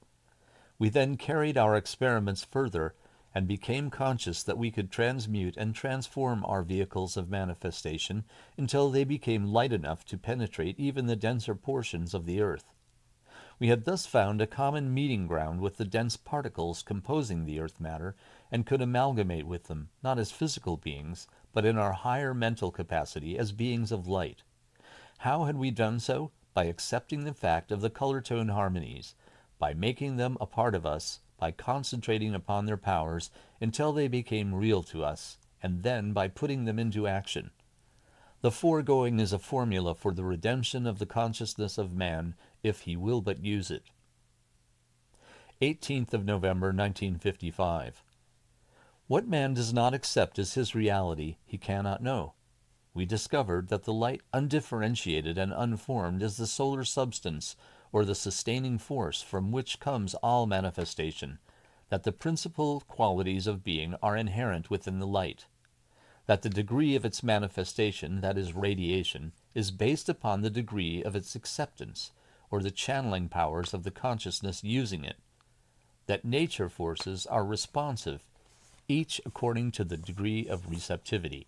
For example, a tree reflects the quality of strength according to its acceptance of solar substance as to quantity, aspires to become a tree, and unconsciously uses a substance making quality of treeness. We discovered also that the qualities of pure being, or undifferentiated substance, are inherent within the mind of man, that as he aspires to them in his consciousness, they appear as the powers inherent within the Godhead. The spirit within them knows and acknowledges the qualities which are in truth the principles of being. As he applies himself to the acceptance of his spiritual qualities, to that degree they become manifest in form for his use. To dwell upon the qualities of love, wisdom, faith, peace, purity, justice, and freedom is to become one with their radiations, each of which has a specific color and tone, and to achieve harmony with them. The present age of manifestation is one in which man must find himself as a being of light. He must use the qualities inherent within to build for himself an enduring world, one in which he may manifest in harmony with the laws of the universe, and thus preserve for himself a continuous form and place of manifestation. 25th of November, 1955. Having progressed to the point where we accepted the radiations as the qualities of being and tested their potentials as color tone, we became aware of specific changes within our own physical, emotional, and mental reflections. We became aware of increasing strength of dynamic powers which seemed to sustain while they irradiated the mind forces, and of a perception of pure being within our auric reflection. Physically, we seemed to become much lighter, much more easily movable, requiring less food because we were apparently absorbing sustenance from the solar substance. It was not until we had reached a high degree of radiation that we became aware that such changes were taking place, and not until we noticed an effulgent blue aura, or etheric transmitting force, around one another that we came to know what we had achieved. We then came to acknowledge that we had, by our many testings and experiments within the qualities of the radiation, become capable of wielding the forces of light within and from our own center of being. We began to direct them into the cave like surroundings, which was our place of abode. We literally projected beams of powerful electric blue into the earth walls. To our amazement, we found the earth responding, becoming resilient, malleable, and dissolving into sparkling particles of light before our very eyes. The next step was to discover why this was possible and how our knowledge could be used. The evidence was before us that man must come to change his consciousness of the earth upon which he dwells in order to accept the degree of light or solar substance which is now being projected into his ethers. 2nd of December 1955. Our fourth stage followed as the direct result of our discovery that we might project a certain specific color tone into dense material and receive positive results therefrom. The test color tone, electric blue or blue green, is of a dynamic quality of being, highly energized and capable of projection when the transmitting channel is on the exact wavelength or vibrational response with it. The form or shape in which it is to be projected must be clearly visualized and held at the same degree of radiation as the wavelength. The projective powers must come from within the solar forces of the being projecting them, and must be directed with force and sufficient powers of intuition to envisage a result. The walls of solid matter may be broken down in this manner, but the transmitting instruments must be capable of entering the denser substance in their light vehicles or auric being in order to create the form desired. This method of entering the earth substance is now possible, but further experiment must be made. It is therefore our premise that the earth itself is a soluble It is therefore our premise that the earth itself is soluble, taking any form which may be projected under a given set of circumstances. The magnetic drawing of the Earth's substance by means of a specific degree of radiation is possible and preliminary to the recreation of the planet upon which men have their being. 3rd of December 1955. The very fact of recording gives substance to what is recorded and sends it forth into the ethers to become reality. Our findings carry within them a concept of being new to the man of earth, yet as limitless as the universe of light. They are both fundamental and factual. They have been proven through experiment and experience. They can and will save a planet if accepted as real. 9th of December 1955. Our fifth experiment dealt with the potentials inherent within the basic color tone and the degree of radiation necessary for its projection in order to bring about an alteration in the physical structure of man. This seemed to us to be the next step. We were conscious of being radically changed in our physical bodies. Hence, we knew that they must reflect a much more vital auric transmission than men on Earth as a whole were capable of reflecting. We also knew that the chemicals within the body material were changed, and in some cases intensified to such a degree that we were uncomfortable in anything but the rarefied atmosphere of the upper reaches of consciousness. When called upon to work at hard labor, we were capable of doing so without experiencing any strain or disease. But we were unable to adjust our forces to the limitations which surrounded us. This meant that they must expand if we were to live in confinement and carry on our mission of transmitting the radiations into the earth itself. We then began our tests of the color tone, which would alleviate the upsurge of power and strength which we knew that we were drawing from the earth itself and which we also knew was incoming on waves of solar radiance, which would stimulate us beyond the point where we might be contained in either our limited environment or our physical bodies. We believed the teachings of the Master Jesus to be that man must build anew his body form, must be able to inhabit it, and live upon his earth, whilst making contacts with those who have reached the higher levels, transmitting from them to the man of earth the necessary elements to dwell in his earthly body so long as he choose. We found that the color tones of violet, modified with a soft rose red, would transmute intense electrical energy if applied to the chemicals of the physical body, that these tones could be injected into the body as one might give a hypodermic injection and could ease a condition of overstimulation at once. Color tones of dove gray combined with a misty blue eased the nerve system and could be used as a transmitter of forces without being destructive to the nerve ends. Yellow is a color of freeing or releasing vital forces, permitting them to move throughout the body corporeal, transmuting as they were absorbed. This color tone permeated the body as sunlight. Green in its most restful shades is a modifier of force and can be absorbed through the pores of the skin, causing density and irritation to disappear and in their place a fine element which retones the cells of the body. Silver in itself is a quickening, swift flowing stream of elixir, which elevates the whole being, transforming the bloodstream as it passes through the body physical. All the foregoing color tones must be used to a specific degree. Man must come to know that degree in order to use it. 17th of December 1955. We wish to point out that the results from the discovery of the use of the radiations as applied to the physical form did not come all at once, but were a slow, perceptive condition of response, which finally brought us to the point of recognizing our auric being and becoming aware of it as the essential entity. Others describe this light form as the soul being, the color form, the etheric body, but to us it is the auric being, which carries with it the radiations which help to keep the physical body alive and well.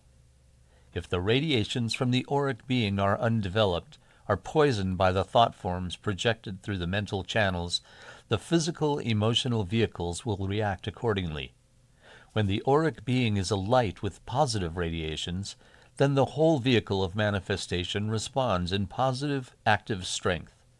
This is often the case whether or not the thoughts are turned into purely religious channels.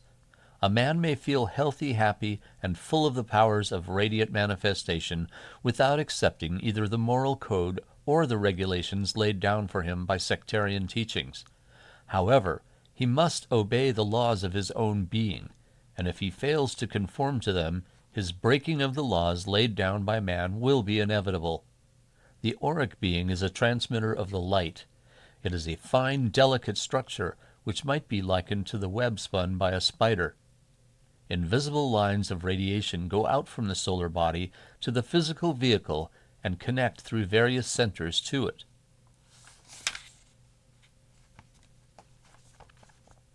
They are conditioned by the thought forms given, but also by the receptivity of mind to the inner planes of reality. A man may not know them for what they are, may not accept them as the triune principle, Father, Son, and Holy Spirit, may be unaware that he is a bearer of light in color tone radiations, and as such creates his world of form. But in order to be such a bearer of the light, he must have an active and positive degree of receptiveness to the harmonizing qualities of being, and must share them generously with all about him, the impact of such a man upon the lives of others is frequently stronger than that of a deeply religious man. The reason is that he rarely tries to reform or condition others to his way of life because he does not channel his thought powers through a specific form, but lets them open, is friendly and outgoing. The reason is that he rarely tries to reform or condition others to his way of life because he does not channel his thought powers through a specific form, but lets them open, is friendly and outgiving. 30th of December 1955. Man is prone to consider himself a predominantly a physical being. Man is prone to consider himself as predominantly a physical being. His next step is to consider himself in relation to mind and to begin to acquire mental powers. Through this step in consciousness, he has begun to analyze and study the reactions of the mind upon the physical being. He has given his thought processes over to tracing the cause of disease and unrest from the psyche to the physical. We do not question this method of progress. We say it is unnecessary, at times unhealthful, but reasonable in view of man's failures to grasp the whole picture of the self in manifest form. I am a being of light is a statement of fact. All is energy, and energy is light. True, the physical being is cast aside and finally reduced to dust and ashes, returns to earth, and becomes a part of it. But Jesus taught that so to cast aside the body of manifestation is not essential, that it too may be redeemed by the very light particles of which it is composed. Through our long periods of contemplation and study, we came to see that the light body was the reality of which the physical, mental, emotional body was merely a projection. But we also knew that the auric being must be developed to where it became the essential dynamo through which the physical took form, just as a vehicle of transport is empowered by a motor or dynamo or the transference of energy. We then began to classify the various aspects of the color tone radiations through the auric being. We then knew with certainty that they composed the man, but that he had to acquire them through the use of the mind substance available to him. Our next step was to analyze mind substance. Was it different from that which was the essential substance of being, that from which all form became manifest? We began to use our own vital energies insofar as they could manifest through our present state of awareness we found that the more engrossed we became in the study of the powers inherent within man, the greater our capacity to visualize them. In so doing, we put them to work for us, and as we did so, they became dynamic and brought about results which proved to us that they were ever present faculties of being, ready to be used. We discovered the substance of being to be malleable, capable of being molded into any form we chose. 7th of January 1956. We should like to analyze further what is meant by the auric being, the auric vehicle, or the man of light. Mind substance is generally conceived to be the mental powers of man, and it is believed by the majority that man acquires them according to his ability to grasp what has been termed generally as knowledge, namely, that which is on record and accepted by the mind of man. But knowledge is not mind substance. It is merely the ability of the ego to grasp and formulate what already is.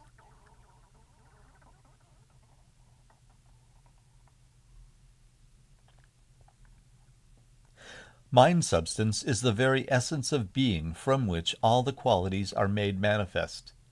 It is the all knowingness, the unlimited, the undifferentiated, the essence of all manifestation.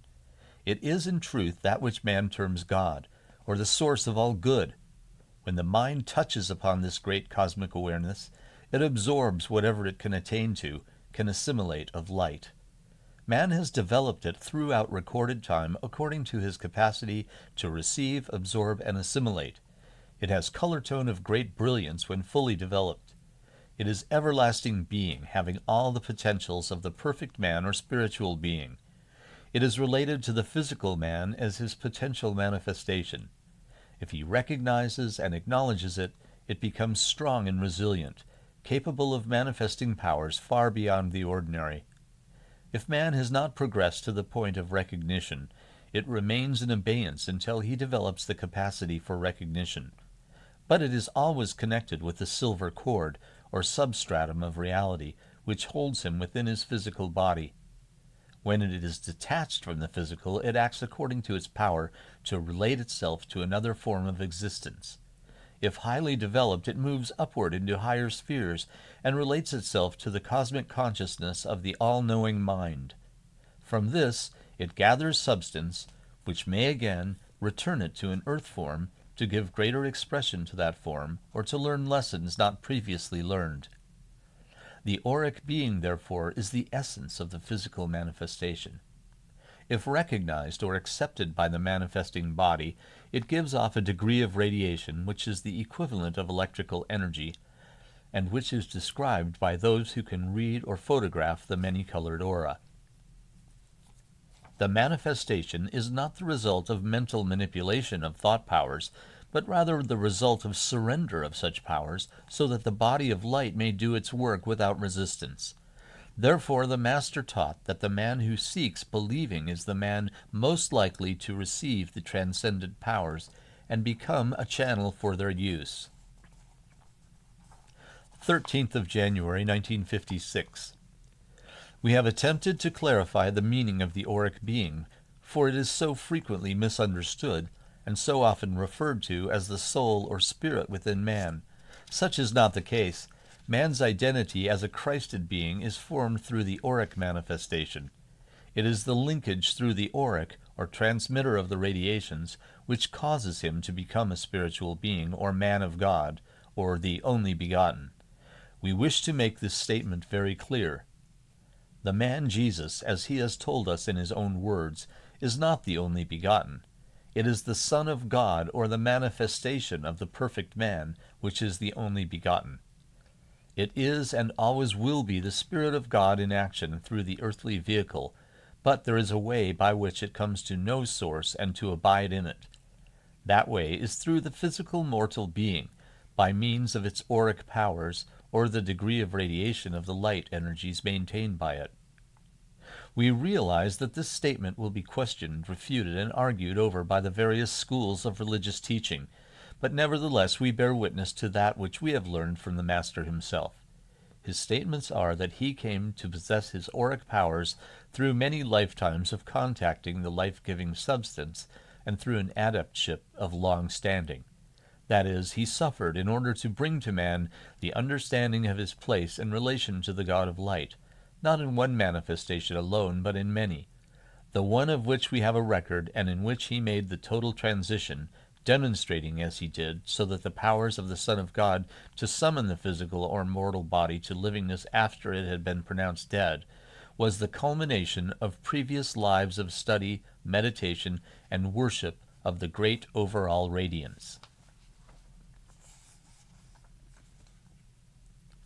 20th January 1956. The auric being manifests that which an individual has developed in the rate of his vibrations throughout his life experiences. A babe in arms may have a more highly developed auric radiation than a grown man. The fully developed aura is a thing of beauty beyond our powers of expression. Few can stand in the presence of the holy ones who have developed such radiations and few can sustain the proximity of such radiations. As man learns to absorb and assimilate the qualities of being, as they are represented through color tone into his auric vehicle, he becomes enlightened. His whole being is eventually irradiated, and he goes to work as a server of the light. It cannot be otherwise, for were he not to use the powers thus granted him, he would be destroyed by them the 27th of January, 1956. Page 74. 2nd of December, 1955. Our fourth stage followed as the direct result of our discovery that we might project a certain specific color tone into dense material and receive positive results therefrom. The test color tone, electric blue or blue-green, is of a dynamic quality of being, highly energized and capable of projection when the transmitting channel is on the exact wavelength or vibrational response with it. The form or shape in which it is to be projected must be clearly visualized and held at the same degree of radiation as the wavelength. The projective powers must come from within the solar forces of the being projecting them, and must be directed with force and sufficient powers of intuition to envisage a result. The walls of solid matter may be broken down in this manner, but the transmitting instruments must be capable of entering the denser substance in their light vehicles, or auric being, in order to create the form desired. This method of entering the earth substance is now possible, but further experiment must be made. It is therefore our premise that the earth itself is soluble, taking any form which may be projected under a given set of circumstances. The magnetic drawing of the earth's substance by means of a specific degree of radiation is possible and preliminary to the recreation of the planet upon which men have their being. 3rd of December 1955. The very fact of recording gives substance to what is recorded and sends it forth into the ethers to become reality. Our findings carry within them a concept of being new to the man of earth, yet as limitless as the universe of light. They are both fundamental and factual. They have been proven through experiment and experience. They can and will save a planet if accepted as real. 9th of December 1955. Our fifth experiment dealt with the potentials inherent within the basic color tone and the degree of radiation necessary for its projection in order to bring about an alteration in the physical structure of man. This seemed to us to be the next step. We were conscious of being radically changed in our physical bodies. Hence, we knew that they must reflect a much more vital auric transmission than men on Earth as a whole were capable of reflecting. We also knew that the chemicals within the body material were changed, and in some cases intensified to such a degree that we were uncomfortable in anything but the rarefied atmosphere of the upper reaches of consciousness. When called upon to work at hard labor, we were capable of doing so without experiencing any strain or disease. But we were unable to adjust our forces to the limitations which surrounded us. This meant that they must expand if we were to live in confinement and carry on our mission of transmitting the radiations into the earth itself. We then began our tests of the color tone, which would alleviate the upsurge of power and strength which we knew that we were drawing from the earth itself, and which we also knew was incoming on waves of solar radiance, which would stimulate us beyond the point where we might be contained in either our limited environment or our physical bodies. We believed the teachings of the Master Jesus to be that man must build anew his body form, must be able to inhabit it, and live upon his earth, whilst making contacts with those who have reached the higher levels, transmitting from them to the man of earth the necessary elements to dwell in his earthly body so long as he choose. We found that the color tones of violet, modified with a soft rose red, would transmute intense electrical energy if applied to the chemicals of the physical body, that these tones could be injected into the body as one might give a hypodermic injection and could ease a condition of overstimulation at once. Color tones of dove gray combined with a misty blue eased the nerve system and could be used as a transmitter of forces without being destructive to the nerve ends. Yellow is a color of freeing or releasing vital forces, permitting them to move throughout the body corporeal, transmuting as they were absorbed. This color tone permeated the body as sunlight. Green in its most restful shades is a modifier of force and can be absorbed through the pores of the skin, causing density and irritation to disappear and in their place a fine element which retones the cells of the body. Silver in itself is a quickening, swift flowing stream of elixir, which elevates the whole being, transforming the bloodstream as it passes through the body physical. All the foregoing color tones must be used to a specific degree. Man must come to know that degree in order to use it. 17th of December 1955. We wish to point out that the results from the discovery of the use of the radiations as applied to the physical form did not come all at once, but were a slow, perceptive condition of response, which finally brought us to the point of recognizing our auric being and becoming aware of it as the essential entity. Others describe this light form as the soul being, the color form, the etheric body, but to us it is the auric being, which carries with it the radiations which help to keep the physical body alive and well. If the radiations from the auric being are undeveloped, are poisoned by the thought forms projected through the mental channels, the physical emotional vehicles will react accordingly. When the auric being is alight with positive radiations, then the whole vehicle of manifestation responds in positive, active strength. This is often the case whether or not the thoughts are turned into purely religious channels. A man may feel healthy, happy, and full of the powers of radiant manifestation without accepting either the moral code or the regulations laid down for him by sectarian teachings. However, he must obey the laws of his own being, and if he fails to conform to them, his breaking of the laws laid down by man will be inevitable. The auric being is a transmitter of the light. It is a fine, delicate structure which might be likened to the web spun by a spider.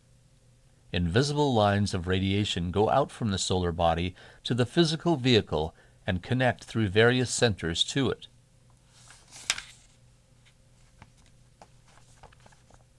They are conditioned by the thought forms given, but also by the receptivity of mind to the inner planes of reality.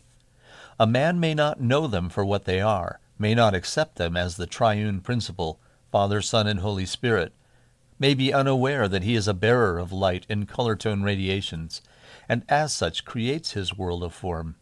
But in order to be such a bearer of the light, he must have an active and positive degree of receptiveness to the harmonizing qualities of being, and must share them generously with all about him. The impact of such a man upon the lives of others is frequently stronger than that of a deeply religious man. The reason is that he rarely tries to reform or condition others to his way of life because he does not channel his thought powers through a specific form, but lets them open, is friendly and outgoing. The reason is that he rarely tries to reform or condition others to his way of life because he does not channel his thought powers through a specific form, but lets them open, is friendly and outgiving. 30th of December 1955. Man is prone to consider himself a predominantly a physical being.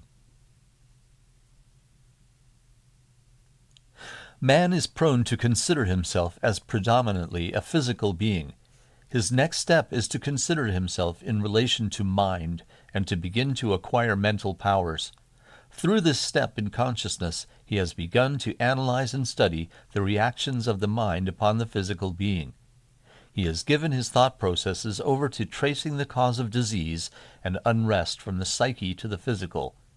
We do not question this method of progress. We say it is unnecessary, at times unhealthful, but reasonable in view of man's failures to grasp the whole picture of the self in manifest form. I am a being of light is a statement of fact. All is energy, and energy is light. True, the physical being, is cast aside and finally reduced to dust and ashes, returns to earth, and becomes a part of it. But Jesus taught that so to cast aside the body of manifestation is not essential, that it too may be redeemed by the very light particles of which it is composed. Through our long periods of contemplation and study, we came to see that the light body was the reality of which the physical, mental, emotional body was merely a projection but we also knew that the auric being must be developed to where it became the essential dynamo through which the physical took form, just as a vehicle of transport is empowered by a motor or dynamo or the transference of energy. We then began to classify the various aspects of the color tone radiations through the auric being. We then knew with certainty that they composed the man but that he had to acquire them through the use of the mind substance available to him. Our next step was to analyze mind substance. Was it different from that which was the essential substance of being, that from which all form became manifest? We began to use our own vital energies insofar as they could manifest through our present state of awareness we found that the more engrossed we became in the study of the powers inherent within man, the greater our capacity to visualize them. In so doing, we put them to work for us, and as we did so, they became dynamic and brought about results which proved to us that they were ever present faculties of being, ready to be used. We discovered the substance of being to be malleable, capable of being molded into any form we chose. 7th of January 1956. We should like to analyze further what is meant by the auric being, the auric vehicle, or the man of light. Mind substance is generally conceived to be the mental powers of man, and it is believed by the majority that man acquires them according to his ability to grasp what has been termed generally as knowledge, namely, that which is on record and accepted by the mind of man. But knowledge is not mind substance. It is merely the ability of the ego to grasp and formulate what already is.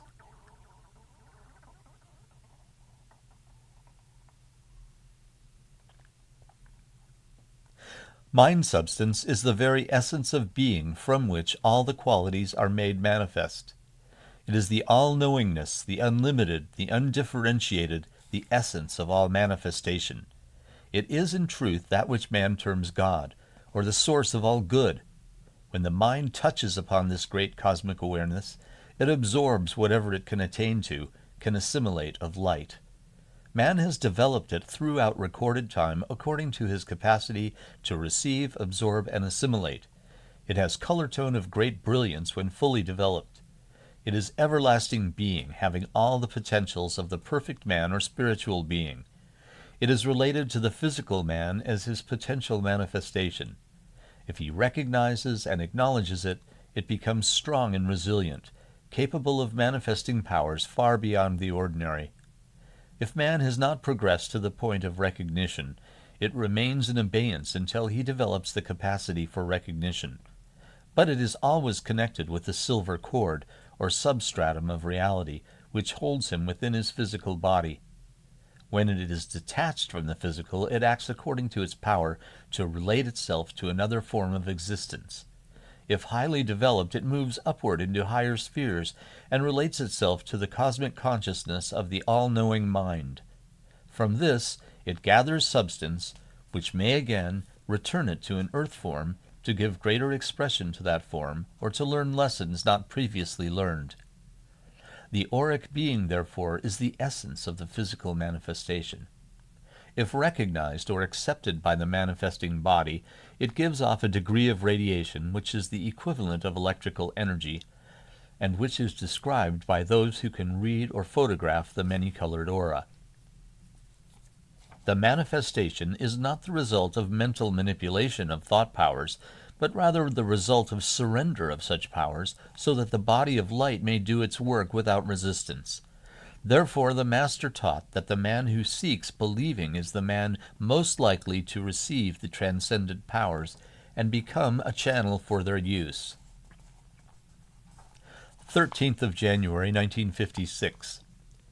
We have attempted to clarify the meaning of the auric being, for it is so frequently misunderstood and so often referred to as the soul or spirit within man. Such is not the case, Man's identity as a Christed being is formed through the auric manifestation. It is the linkage through the auric, or transmitter of the radiations, which causes him to become a spiritual being, or man of God, or the only begotten. We wish to make this statement very clear. The man Jesus, as he has told us in his own words, is not the only begotten. It is the Son of God, or the manifestation of the perfect man, which is the only begotten. It is and always will be the Spirit of God in action through the earthly vehicle, but there is a way by which it comes to know source and to abide in it. That way is through the physical mortal being, by means of its auric powers or the degree of radiation of the light energies maintained by it.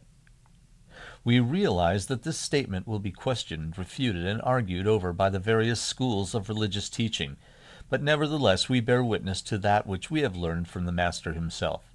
His statements are that he came to possess his auric powers through many lifetimes of contacting the life-giving substance and through an adeptship of long standing. That is, he suffered in order to bring to man the understanding of his place in relation to the God of light, not in one manifestation alone, but in many. The one of which we have a record, and in which he made the total transition, demonstrating as he did, so that the powers of the Son of God to summon the physical or mortal body to livingness after it had been pronounced dead, was the culmination of previous lives of study, meditation, and worship of the great overall radiance. 20th January 1956. The auric being manifests that which an individual has developed in the rate of his vibrations throughout his life experiences. A babe in arms may have a more highly developed auric radiation than a grown man. The fully developed aura is a thing of beauty beyond our powers of expression. Few can stand in the presence of the holy ones who have developed such radiations, and few can sustain the proximity of such radiations. As man learns to absorb and assimilate the qualities of being, as they are represented through color tone into his auric vehicle, he becomes enlightened. His whole being is eventually irradiated, and he goes to work as a server of the light.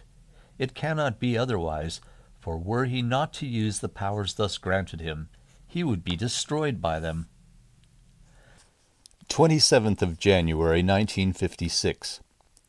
It is essential that the auric radiation be understood and that the nature of the soul or solar being be given its due recognition. The auric being, developed to a high degree of radiation, reflects through the so called physical body a rate of vibration which is disturbing to the cell life and often causes one or other of the various diseases known to man. This response generally precedes the union of the physical, mental, emotional body with the spiritual or solar manifestation.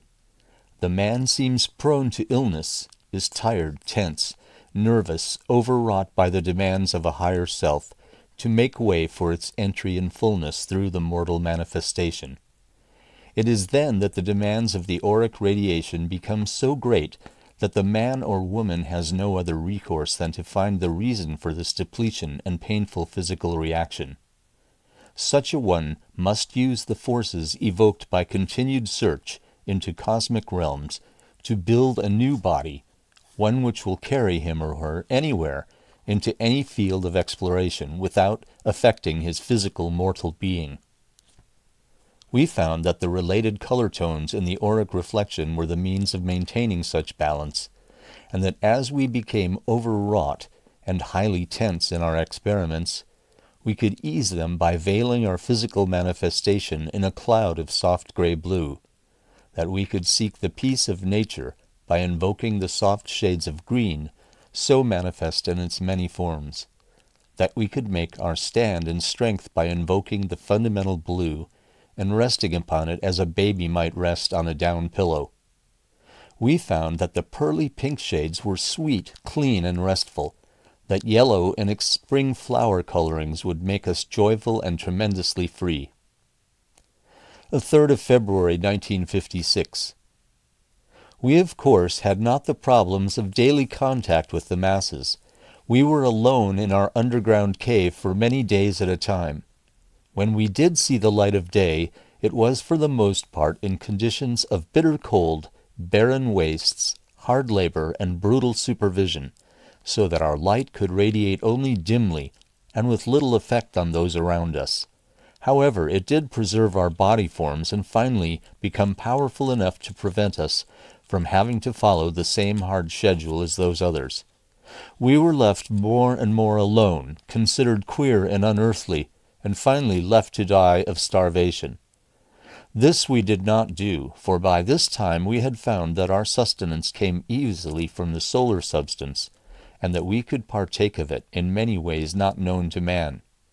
We were refined to the fineness of a sharpened blade. Our physical forms became barely perceptible, but our color tone radiations were so potent that we could use them to make the many experiments which were a part of our daily practice. The thought of food was revolting to us after we found we could assimilate from the life giving substances all that was needful for our nourishment. But we also found that all forms of life use the same process of assimilation of the etheric substance. If they were stunted or deformed, it was because the harmonizing quality of the solar substance radiation had not been absorbed. 10th of February 1956. We found that the color orange had a remarkable inner quality which is both uplifting and absorbing.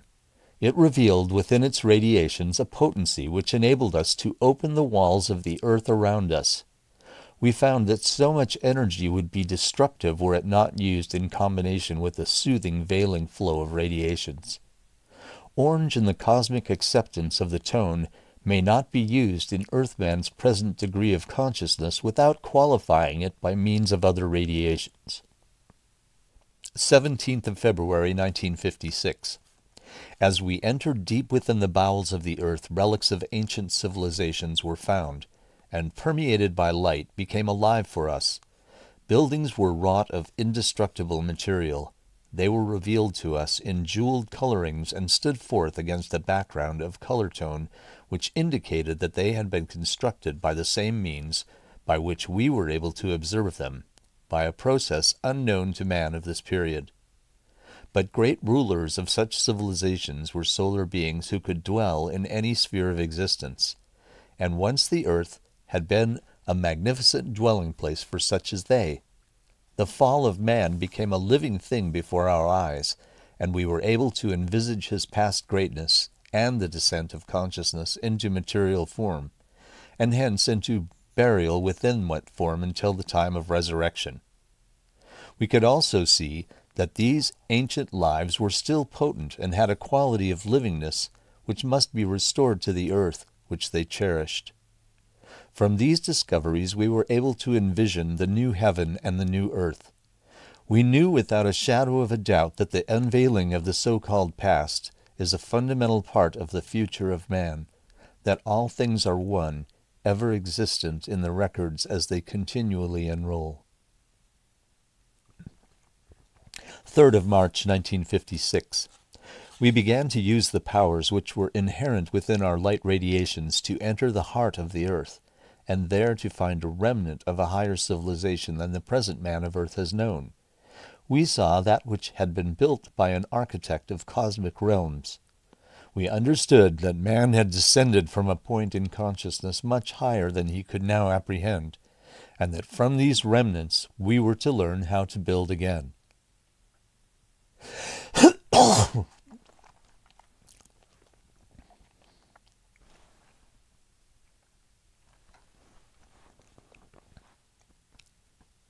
We knew that humanity can only build what can be conceived in consciousness, that the radiations which made it possible for us to enter the heart of the earth and discover its former glories would help us to bring again an awareness of what has been lost like some long forgotten memory.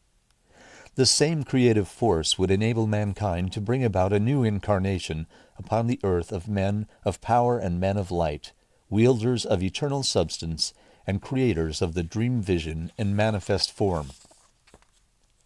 9th of March 1956. It is an arduous path we have to tread, razor edged, filled with difficulties because the mind is a constant betrayer of the real, and most human beings come so slowly to full acceptance that they are in reality sons of God.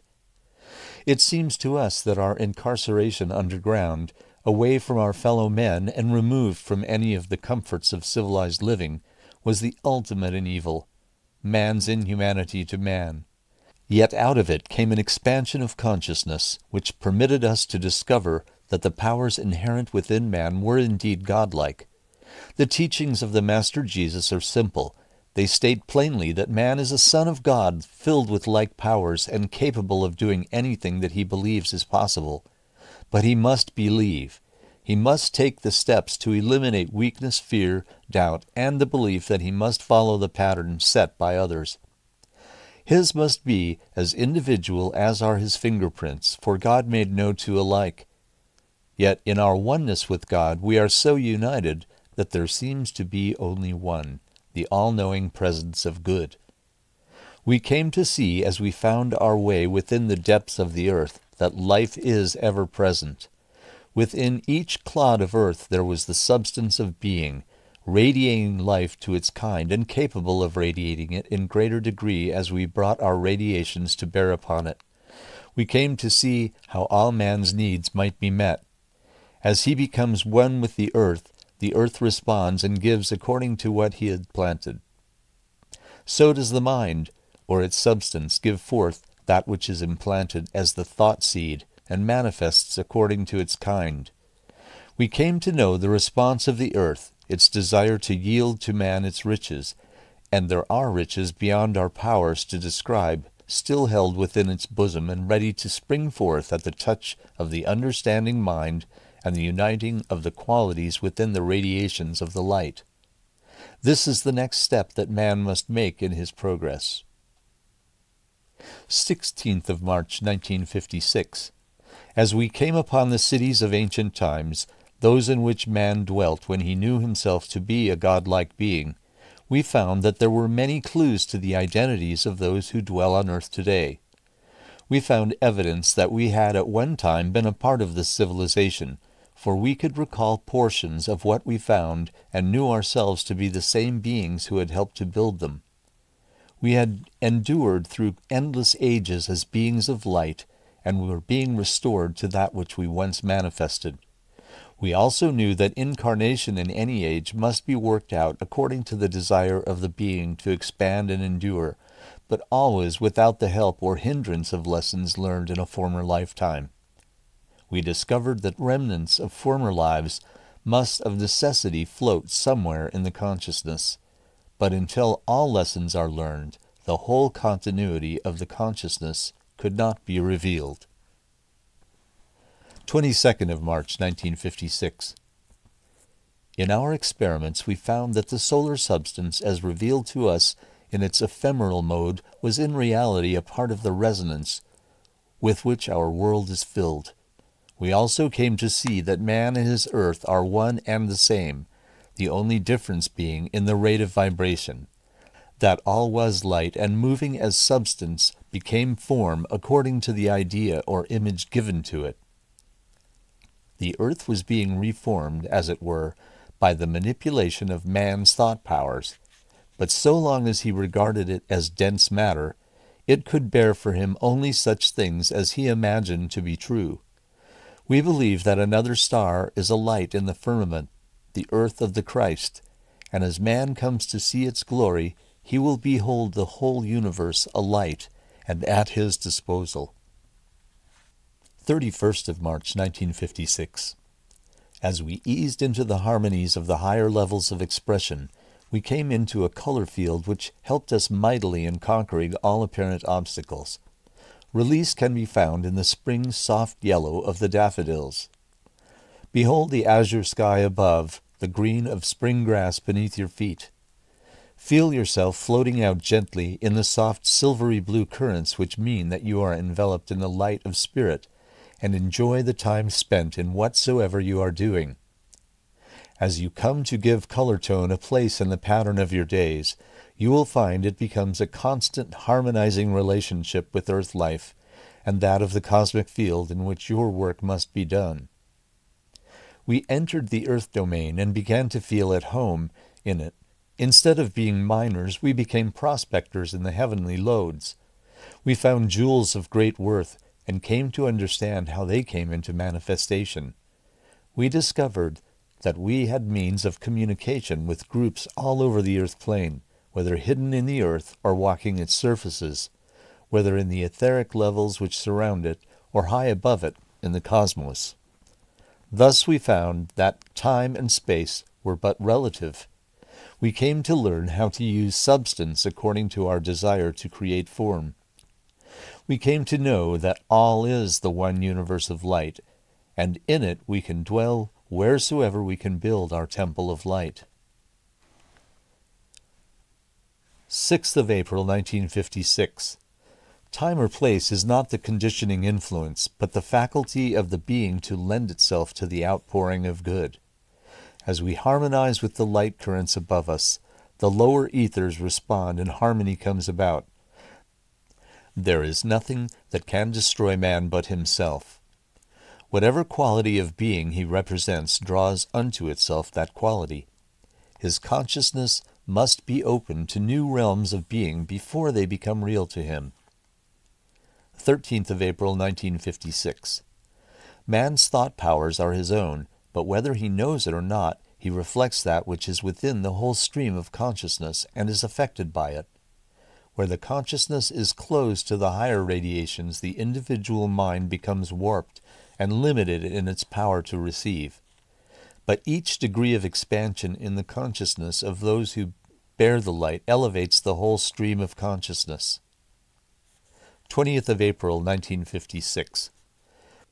We have spoken many times of our limiting conditions where it was not possible to escape from confining walls imprisoning us by physical means. Our escape was shown as an interior existence. Finally, we entered the very earth itself. We became aware that we need not be bound by mortal limitations. there was a vaster, more wonderful experience awaiting us. We found that we need not cast off the mortal body in order to reach realms of beauty and breadth of vision, but that we were able to dwell in those qualities of being while incarcerated in a cave beneath the ground. It was thus that we began to realize that we were truly immortal. We could go from one field of conscious expression to another, finding ever greater scope. It is well for all who seek to serve to dwell in thought upon the potentials within the creative mind. From the vantage point of a distant horizon, another opens, still greater, still more wonderful. We need only seek the one immediately before us to find a greater one outstretching, promising fulfillment in the joy of exploration. Our findings within the heart of the earth taught us that man knows but little of his earth plane there are still untouched vast avenues of wealth, great volumes of wisdom, healing powers, and splendors of living as yet inconceivable. Our thought for today is Find the self within the self. It is all powerful, all purposeful, all rewarding. Be not the victim of limitation, but its master. 27th of April, 1956. What we have to give is healing and vitalizing to the emotional, physical body. Little is known of the effects of the radiation on the corporeal body. Yet many suffer from lack of the substance of life because they do not realize that it may be breathed in just as the oxygen in the air. In these days, all men are troubled except those who have come to know what we have just stated. Men feel the end of the world as they have known it, and don't know what lies before them. It is difficult for the man of earth to relate himself to the whole. He sees only his individual struggle. We could not mingle with our fellow men. We caught their thought waves as they came to us by the same telepathic means by which you record. These thought waves were intensely disturbing until we came to know them for what they were and refused to identify ourselves with them. We came to know the vibrational relationship of a world of war and competition. We also came to know the vibrational response to a world of ease and harmony, one of color tone, one of light filled love of all that is, which is the reality of what we term the upper ethers.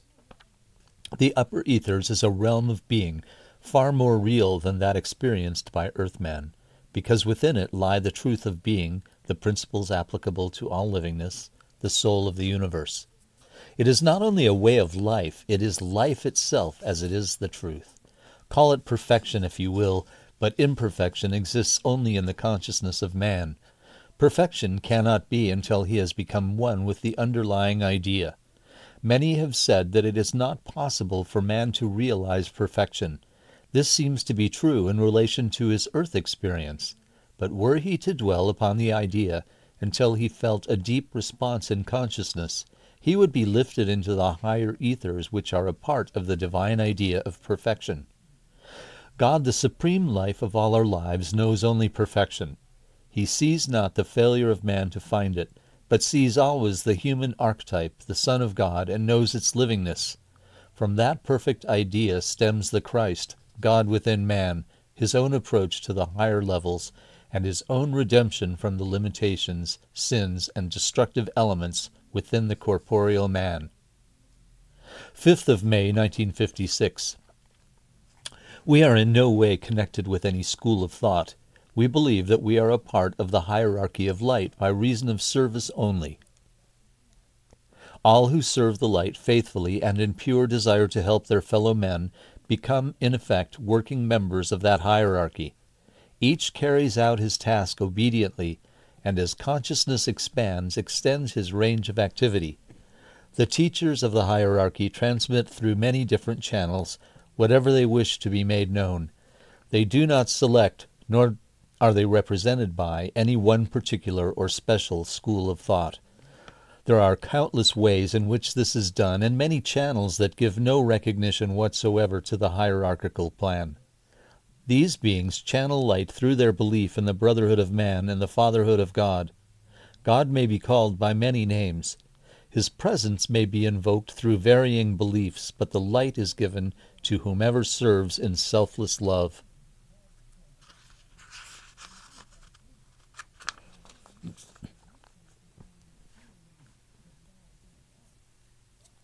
We have told you that our lessons in experiment were drastic and deeply painful, but, but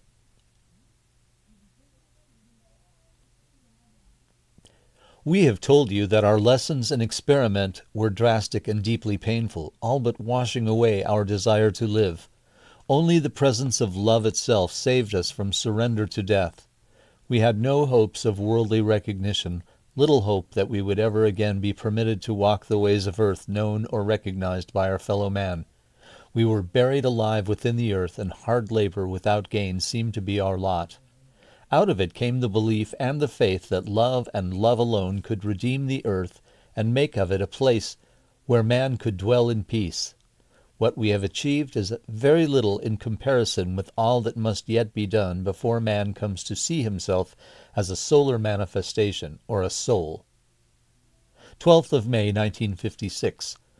Working within the earth brought forth a whole new experience we found that life within the earth existed as strongly and positively as it does above ground.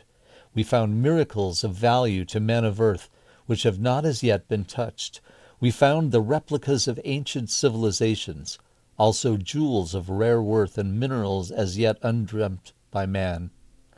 We found that the very substance of the depths of the earth has a rare and inexhaustible quality of life able to restore the being of man after so called death we found that the mineral sources within the substance of earth were such that instant growth took place under our very eyes. We found rivers of living water, which, when touched by our lips, renewed the life current within us, and through which we could transmit our forces into your world of form. We found that we were transmuted in fleshly form into beings of light, without affecting the physical manifestation as it appears in outer expression. That is, we were men as we have always been, but by touching the forces within the earth, through our desire to serve, and through our love for them, we became light bodies carrying with us our mental powers and able to appraise all that was revealed to us without losing our ability to restore ourselves to physical form. We came to feel an inner kinship with the earth as it has become known to us as an urgent expression of life forces, and that man could be renewed by his contact with the earth, even though he delve into it only to make a garden grow. If he dug for minerals going into the bowels of the earth to do so, he established a kinship with the earth which made him want to return to it. We are aware that few men know why they become miners or how great the desire is for contact with the forces of earth as such. But we do know that whoever enters it with a deep desire to serve humanity and in the love which must accompany such desire, he will find the qualities of life for which he has been searching. As the men of earth are now finding the wonders at the bottom of the seas, so did the men of ancient times find the wonders within the earth itself, and so can men come to know the wonders of their God and the eternal life within every particle of his substance. 16th of June 1956. The whole test of the Earthman is one of learning to harmonize himself with the rate of vibration of levels of consciousness bearing greater frequencies and therefore greater power to harm unless the being is in accord with the true or the good. This means that man may not be stepped up until he has learned to live in peace with his neighbor, with all forms of manifest life and with himself most of all. Peace comes from within. Man does not pass from the physical body into the higher spheres unless he has earned that level. He does have time to review the life he has just finished and to profit by his mistakes if he has a longing in his soul to do so. Whatever he has built for the self must be worked out here or elsewhere. It is better when these things are worked out while he is in the body for then he will have prepared himself for the harmonies which are rightfully his. 10th of August, 1956. The earth is now being conducted under light ray 3. There are rays of varying degrees of force. Under present conditions, light ray 3 is the one which will prove most beneficial to mankind. Each light bearer is used as a spearhead for the incoming forces.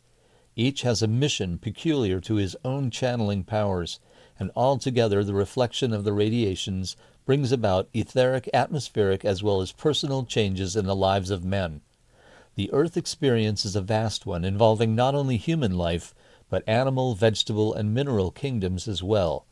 Men may have established home or community upon the earth's surface as at present, but he may also have his secret abiding place within its activated depths, where he may draw sustenance from the wealth of raw materials available for his use.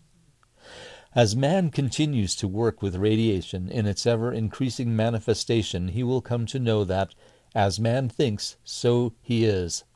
That his thought forces may take him into the ethers, whence he may draw radiations which will be very helpful in the new phase of his consciousness. 17th of August, 1956. As you respond to our recording and we respond to your vibrational capacity to do so, an acceleration in the light degree takes place, which, if properly prepared for, harmonizes all the vehicles. One does not balance the etheric, physical, emotional, and mental bodies without practicing the art of doing so. It has to be learned just as one learns to play a musical instrument by long and arduous practice. At this point in the history of the earth, it is well to consider that the demand is great, but the reward is greater. The earth itself is in process of change. Nature and animal life are reflecting the etheric radiation. Many animals are beginning to have a common field of exchange. As these animals are developed, so will the vegetable and mineral life respond and become very positive in their response to the demands made upon them. You are recording the steps in transition from one form of consciousness to another. We, in turn, are experimenting and investigating the potentials within such change. We know by our tests that the mineral, animal, and vegetable kingdoms are readily receptive to the thought forces. A flower will open quickly to the thought of love, just as does an animal. A vegetable will grow quickly and into perfect form when attended by loving hands, and the reverse is also true.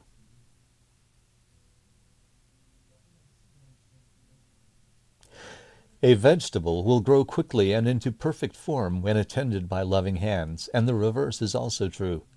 The earth warmed by the sun responds and quickens, not only because of the warmth, but by reason of the radiations it contains. When parched and dry, it responds instantly to water, which is the reflection of the life substance.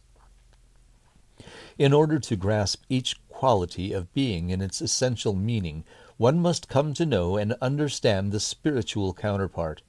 Mankind needs not know poverty, fear, distress, physical or mental, if man will but learn the simple truths of being as he learns the alphabet. He need not know death if he would learn the meaning of life. 7th of September, 1956. As the light bearer becomes responsive to the light, he is raised to a position in the cosmos where he is able to help to stabilize the forces of light. Each of us must consider that we are outposts in the cosmic realm, used to transmit the light waves throughout all manifest form. Whatever our place in the greater screen, whatever our place in the greater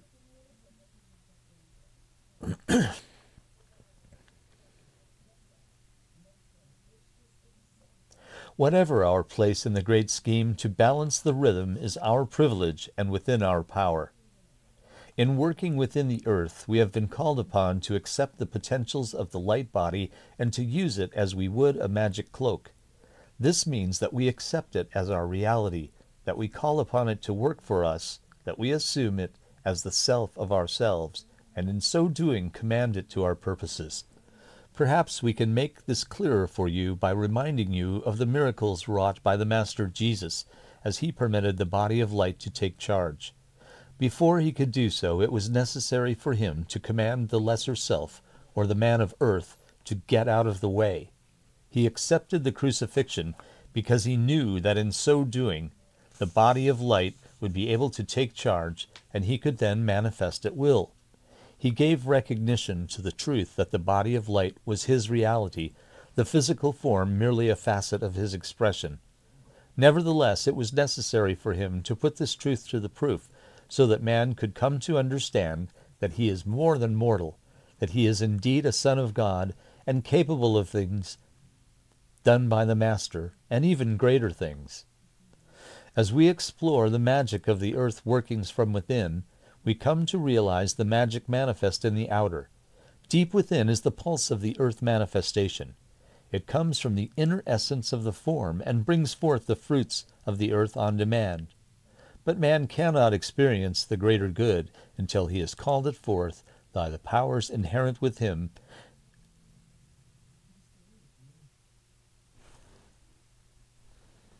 But man cannot experience the greater good until he has called it forth by the powers inherent within him as a reflection of the Most High. The tests are many and severe that the aspiring pupil has to make. First, he must overcome the unreality of his material existence, while still living and subject to the daily demands and constant imperfections of the earth realm. Nevertheless, as he comes to know the perfect, he comes to live in it, and in so doing helps others to find the way. As man comes into knowledge of his own powers as a son of light, he will elevate the powers of all life expressions. Mankind is not as yet free from bondage, even actual slavery, and while in your country, the United States, freedom is proclaimed as the essence of its constitution, yet no man is free while he is still bound to the belief that material possessions are the mark of his progress upon earth. Therefore, he must repeat the earth experience over and over again. Having ourselves been in slavery, subjected to enforced labor under the greatest duress, we know that only the solar experience can set man free. Living the soul life may not be entirely understood. It is the essence of being.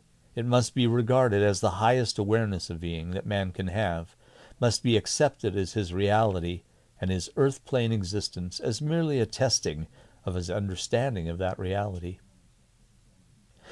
26th of October 1956. We have become sufficiently enlightened to act as reflectors or screens for the needs of those capable of communicating with us and who are sympathetically aligned with our work. Many scientists are so aligned, although they do not know the service given or the nature of the work done by us. They feel a strong impelling urge to focus their forces upon some one particular form of experiment and intuitively call upon us to help them. This call is flashed until the necessary alignment is made. We in turn channel our perceptive powers toward their experiment, and as we do so, results follow both for them and for us.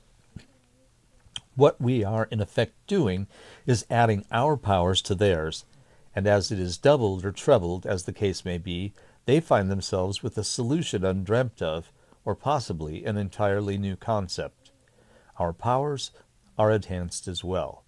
We do not claim that we are the creation of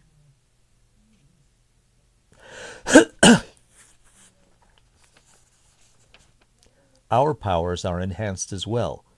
We do not claim that we are the creators of the result, but we have learned that as we add our gifts to those of the creative artists in whatever field, we enhance the speed and power of the results.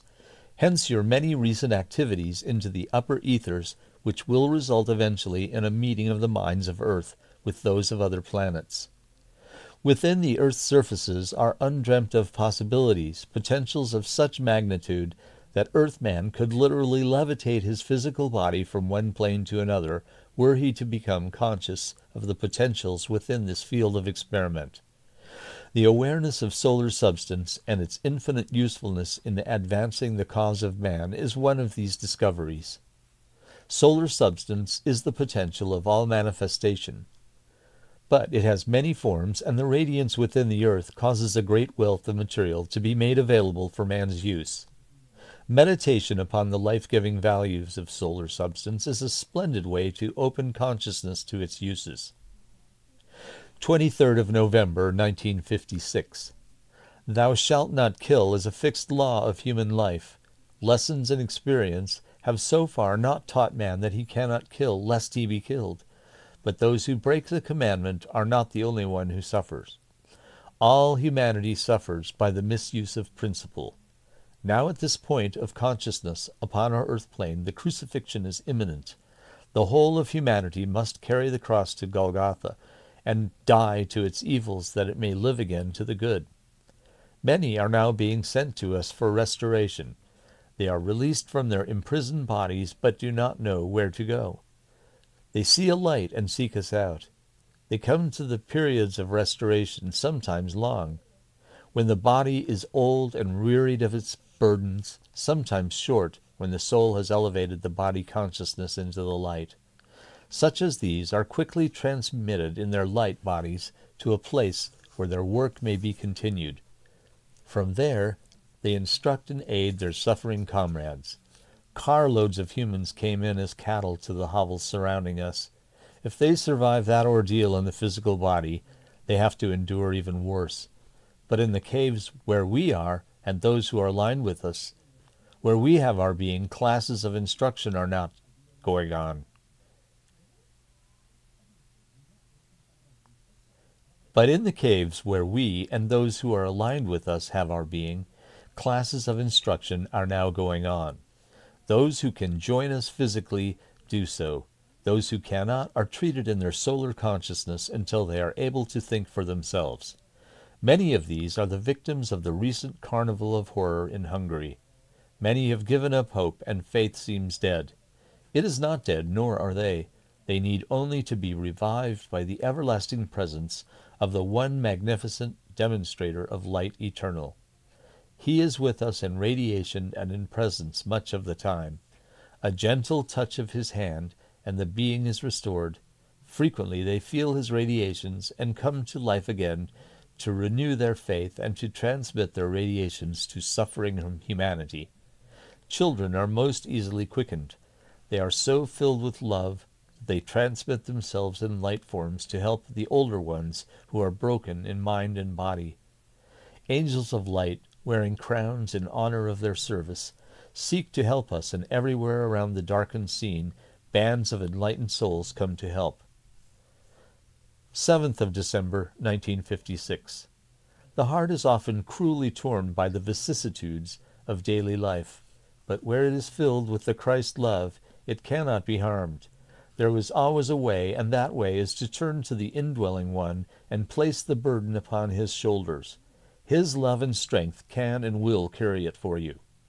Many go up and down in the scale of their awareness, balanced sometimes precariously between the two realms of being, longing for the heights, yet dwelling within the depths.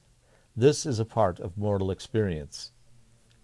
We cannot conquer by abandoning the life around us, but rather by bringing to it those qualities of being which restore and invigorate. 14th of December, 1956. Mortal responses to the fields of light are strange. At times the radiations are more than the being, torn between two worlds, can stand. He feels shattered with no place in reality. Those of earth and close to the material manifestation have no roots, or so it seems. But those who have elected to serve in the light and love of Christ are more often weary wanderers on the plains of physical manifestation. Peace be unto your physical, mental, and emotional bodies. They are but channels for the solar radiance, and as they expand to receive it, they stretch ever upward into cosmic realities. We are buoyed by the radiance which has been invoked around us. We also meet the Master face to face, and his powers are ours insofar as we can accept them. You too have the same privilege. Make clear the way for that which is to illuminate the minds and hearts to still greater giving. One resentful thought may create disease and unrest within the auric manifestation, for it is alien to the life eternal.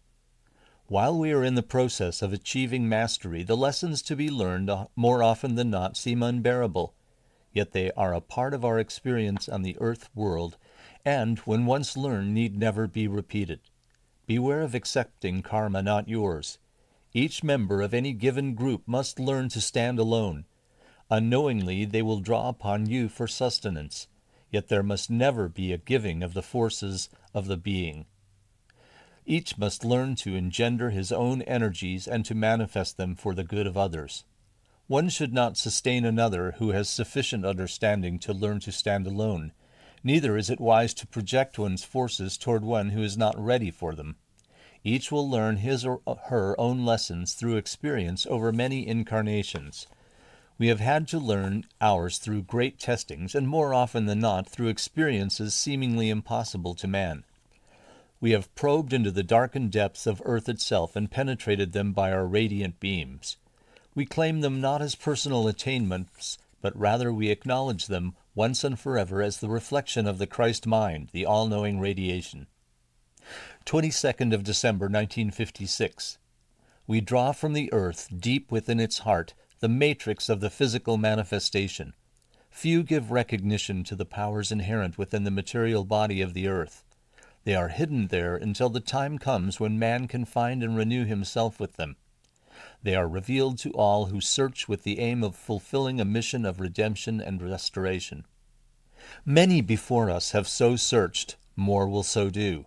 For awareness is creeping into the consciousness of man, and he is beginning to know that the plane of his physical existence may indeed become the plane of his heavenly realities. But first must come the cleansing and it is for this that we work, and because of this we suffer disease, disharmony, and we carry the cross of humanity through the black night of transition.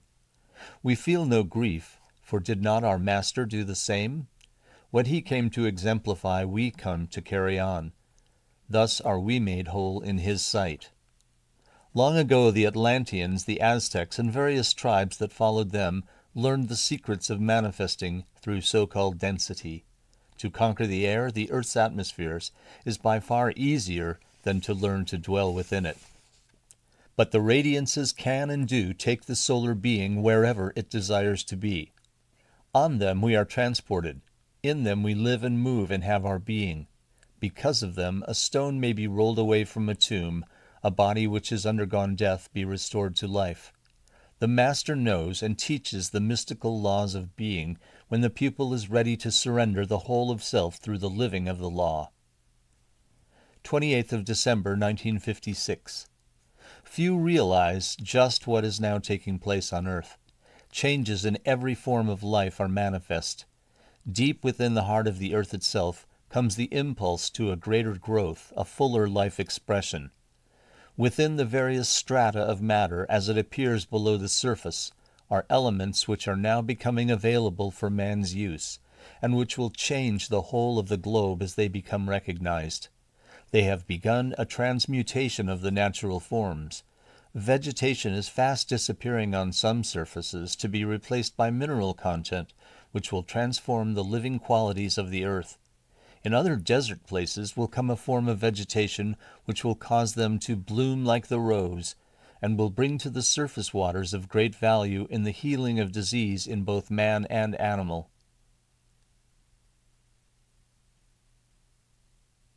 In other desert places will come a form of vegetation which will cause them to bloom like the rose, and will bring to the surface waters of great value in the healing of disease in both man and animal. Mountains will produce minerals of such great value to the life on the planet that the struggle for material wealth will depart. Money will have no value because it will no longer be the medium of exchange. The Earth's atmospheres are even now rapidly changing, and if war in its most destructive form can be prevented, our air or atmosphere will become purified. Exchange between planets of useful information will be possible for the very work now done in transmission of ideas from one level to another is to stimulate the use of telepathic transmission. This in itself will most rapidly enlighten the minds of men and will cause them to elevate the consciousness more easily into cosmic levels. All of this will take place as the result of man's desire to banish the evils he has created and to serve only the good. At present we are working most diligently with the radiation applied to the mental physical being of those who have been deported and enslaved.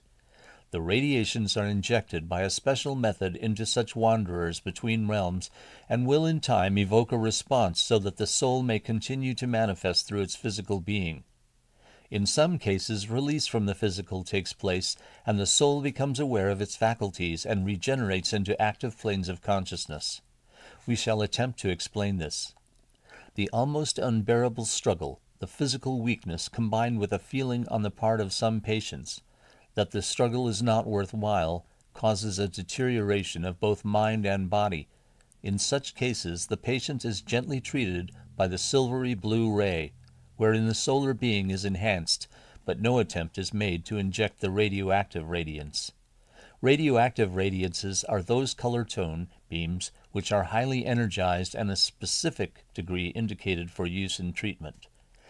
The silver blue radiance may be so activated, but in cases where the patient is largely detached from the physical, the silvery blue may be used as a releaser rather than an activator of the mental physical processes. We are attempting to express our findings in your language, and it may not be as clear as we would wish it to be. What do you feel, for instance, when you become aware of even an infinitesimal amount of the love ray? Is it not warming like sunlight, quickening like the flow of quicksilver, soothing, uplifting, sustaining, tranquilizing, each of which quality has a color tone reflection? The solar powers may be used to induce whatever state of consciousness is desirable for the being, but he must make the choice. There is never any compulsion. When the being wishes to depart from the physical shell, we send the tranquilizing, relaxing, and releasing radiances within the silver blue. They also inspire and uplift until the release is made and the soul is free to wing its way to another sphere.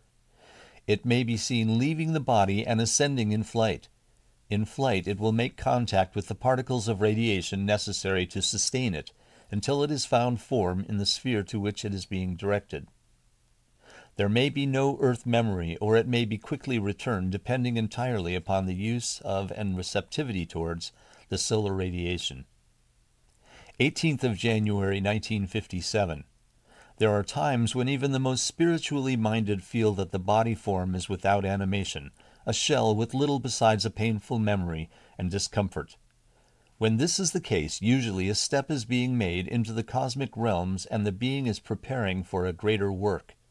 It is wise at such times to drop all thought of striving, to relax and release in the presence and let the knowledge that one is never apart from the supreme power infiltrate the whole being.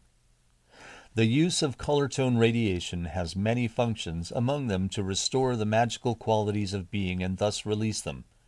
To learn how to use them to help others is to learn how to live as a solar being, aware of the perfection of the life of spirit, yet able to step into the depths of hell, as it were, and release those who are prepared to receive the radiations from above all men must receive their purification through a purgatorial cleansing. There is no escape from that which has been built by the body of mankind through their thought projections. One may not have committed an especial sin, but if his brother has done so and he seeks to help his brother, he may in turn pay his own karmic debt in absolution for that sin. In other words, man pays for all the evils of mankind in one way or another. This is the teaching of the Master Jesus. He showed us by example how it might be done. What he also taught us was that by the use of the heavenly fire, the radiations of the light, healing could take place instantly, and man no longer have to suffer the fires of purification, but only when all men are lifted up. Our intent is to point the way for the practice of the use of the radiations. We come slowly to learn that there is a way, a perfect path which will prevent the reaction of pain from the ills of the body of mankind. We take this path by believing in it and by practicing the use of the radiations. We come to know what color tone means, what the essence of being is, that we are natural inheritors of the healing forces, and as we come to mingle our vibrations with them, we come to know that all life is a healing force.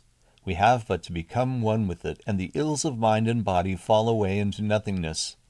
We are the perfect body in the Christ of God.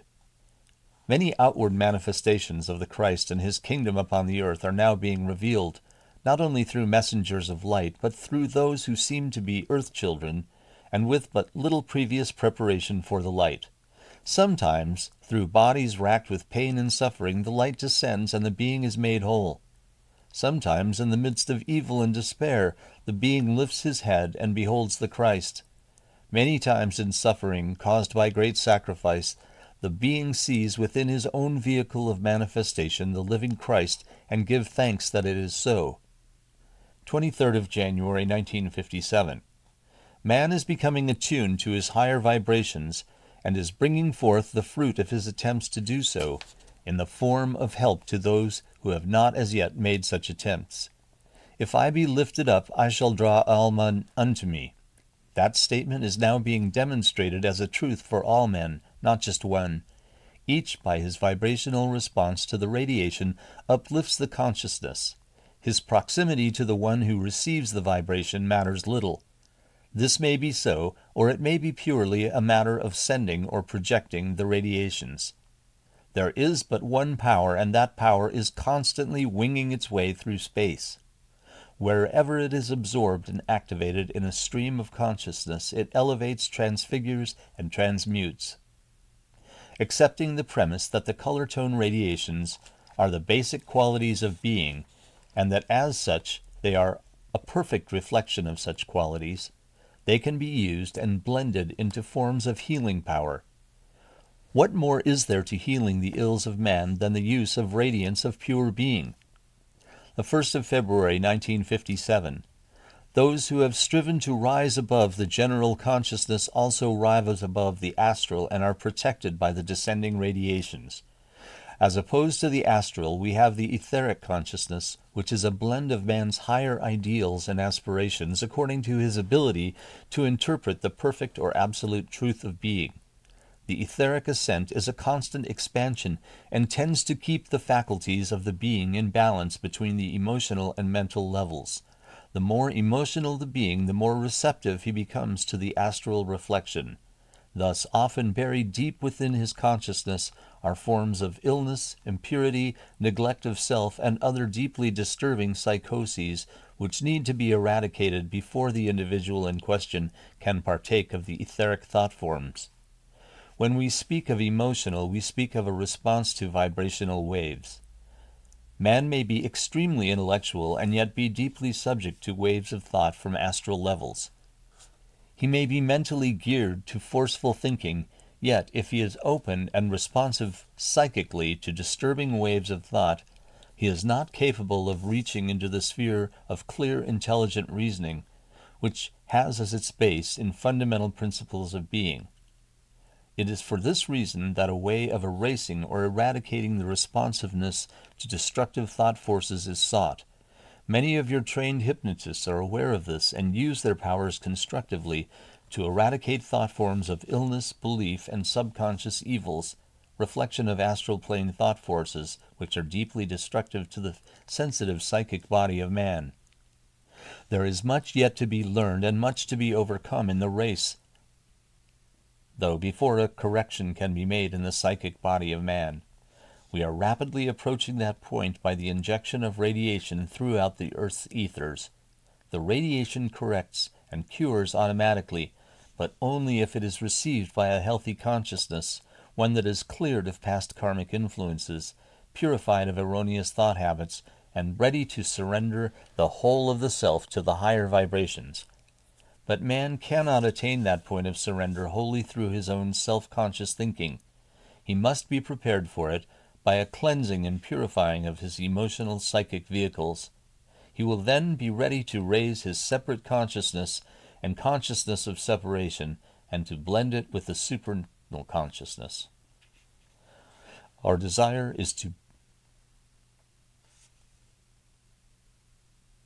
He will then be ready to raise his separate consciousness and consciousness of separation and to blend it with the supernal consciousness. 24th of May 1957. Our desire is to bring to you further understanding of our work which is being done by the overlighting ones as they perceive the great need. Again, the testing point has been reached and Earth itself is threatened with disaster. This is apparent in many ways and cannot be measured in terms of reports of disaster to separate portions of the planet, or to individuals or groups of people. These are only a reflection of the long misdirected thought forces of man. We should like, however, to speak upon a subject which has been causing differences of opinion. The militarist and the run of the mill scientist still claim that no harm has been done by atomic tests, that the fallout is not sufficient to injure mankind, and so they continue under blind misapprehension of the character of the forces now played by such tests. Man and his earth are in mortal danger from such tests, the shock from which may cause portions of the planet to disappear, and may also react upon the emotional mental fiber of man, demoralizing the inner core of his response to earth plane living. This is evident in the increase in mental breakdown through shock to the system of those who are emotionally sensitive and also in the shock to the responsive nature of mankind as a whole. Because the actual fiber of man's being is not given recognition, either by the religions or the scientists, there is little recognition given to the shock to which it is being submitted. But until man is able to build for himself his body of light, strong and invincible, he is a creature between planes, so it seems, and is profoundly affected by the etheric condition of his earth world. It is there that the threat lies, not in what he believes or refuses to believe, but in the actual conditions of his etheric environment, which are in turn the result of erroneous thought forms. Those who overlight know the cure. They know that if a man would accept the concept of a world overlighted by a supreme being capable of conceiving only good, would believe that from this supernal one come the radiations to restore and rebuild, would take to their hearts the love which will cause them to reach out to the very heart of being, then the earth might be saved from the evil forces now pounding at the fiber of man's being. We cannot overemphasize the necessity for acceptance of the God consciousness, the spiritual substance from which man is formed. Here and now is the time, here and now the privilege of so serving that a great wave of enlightenment inform the minds of men, uplift their consciousness, opening the petals of the heart to resound to love and the mind to light.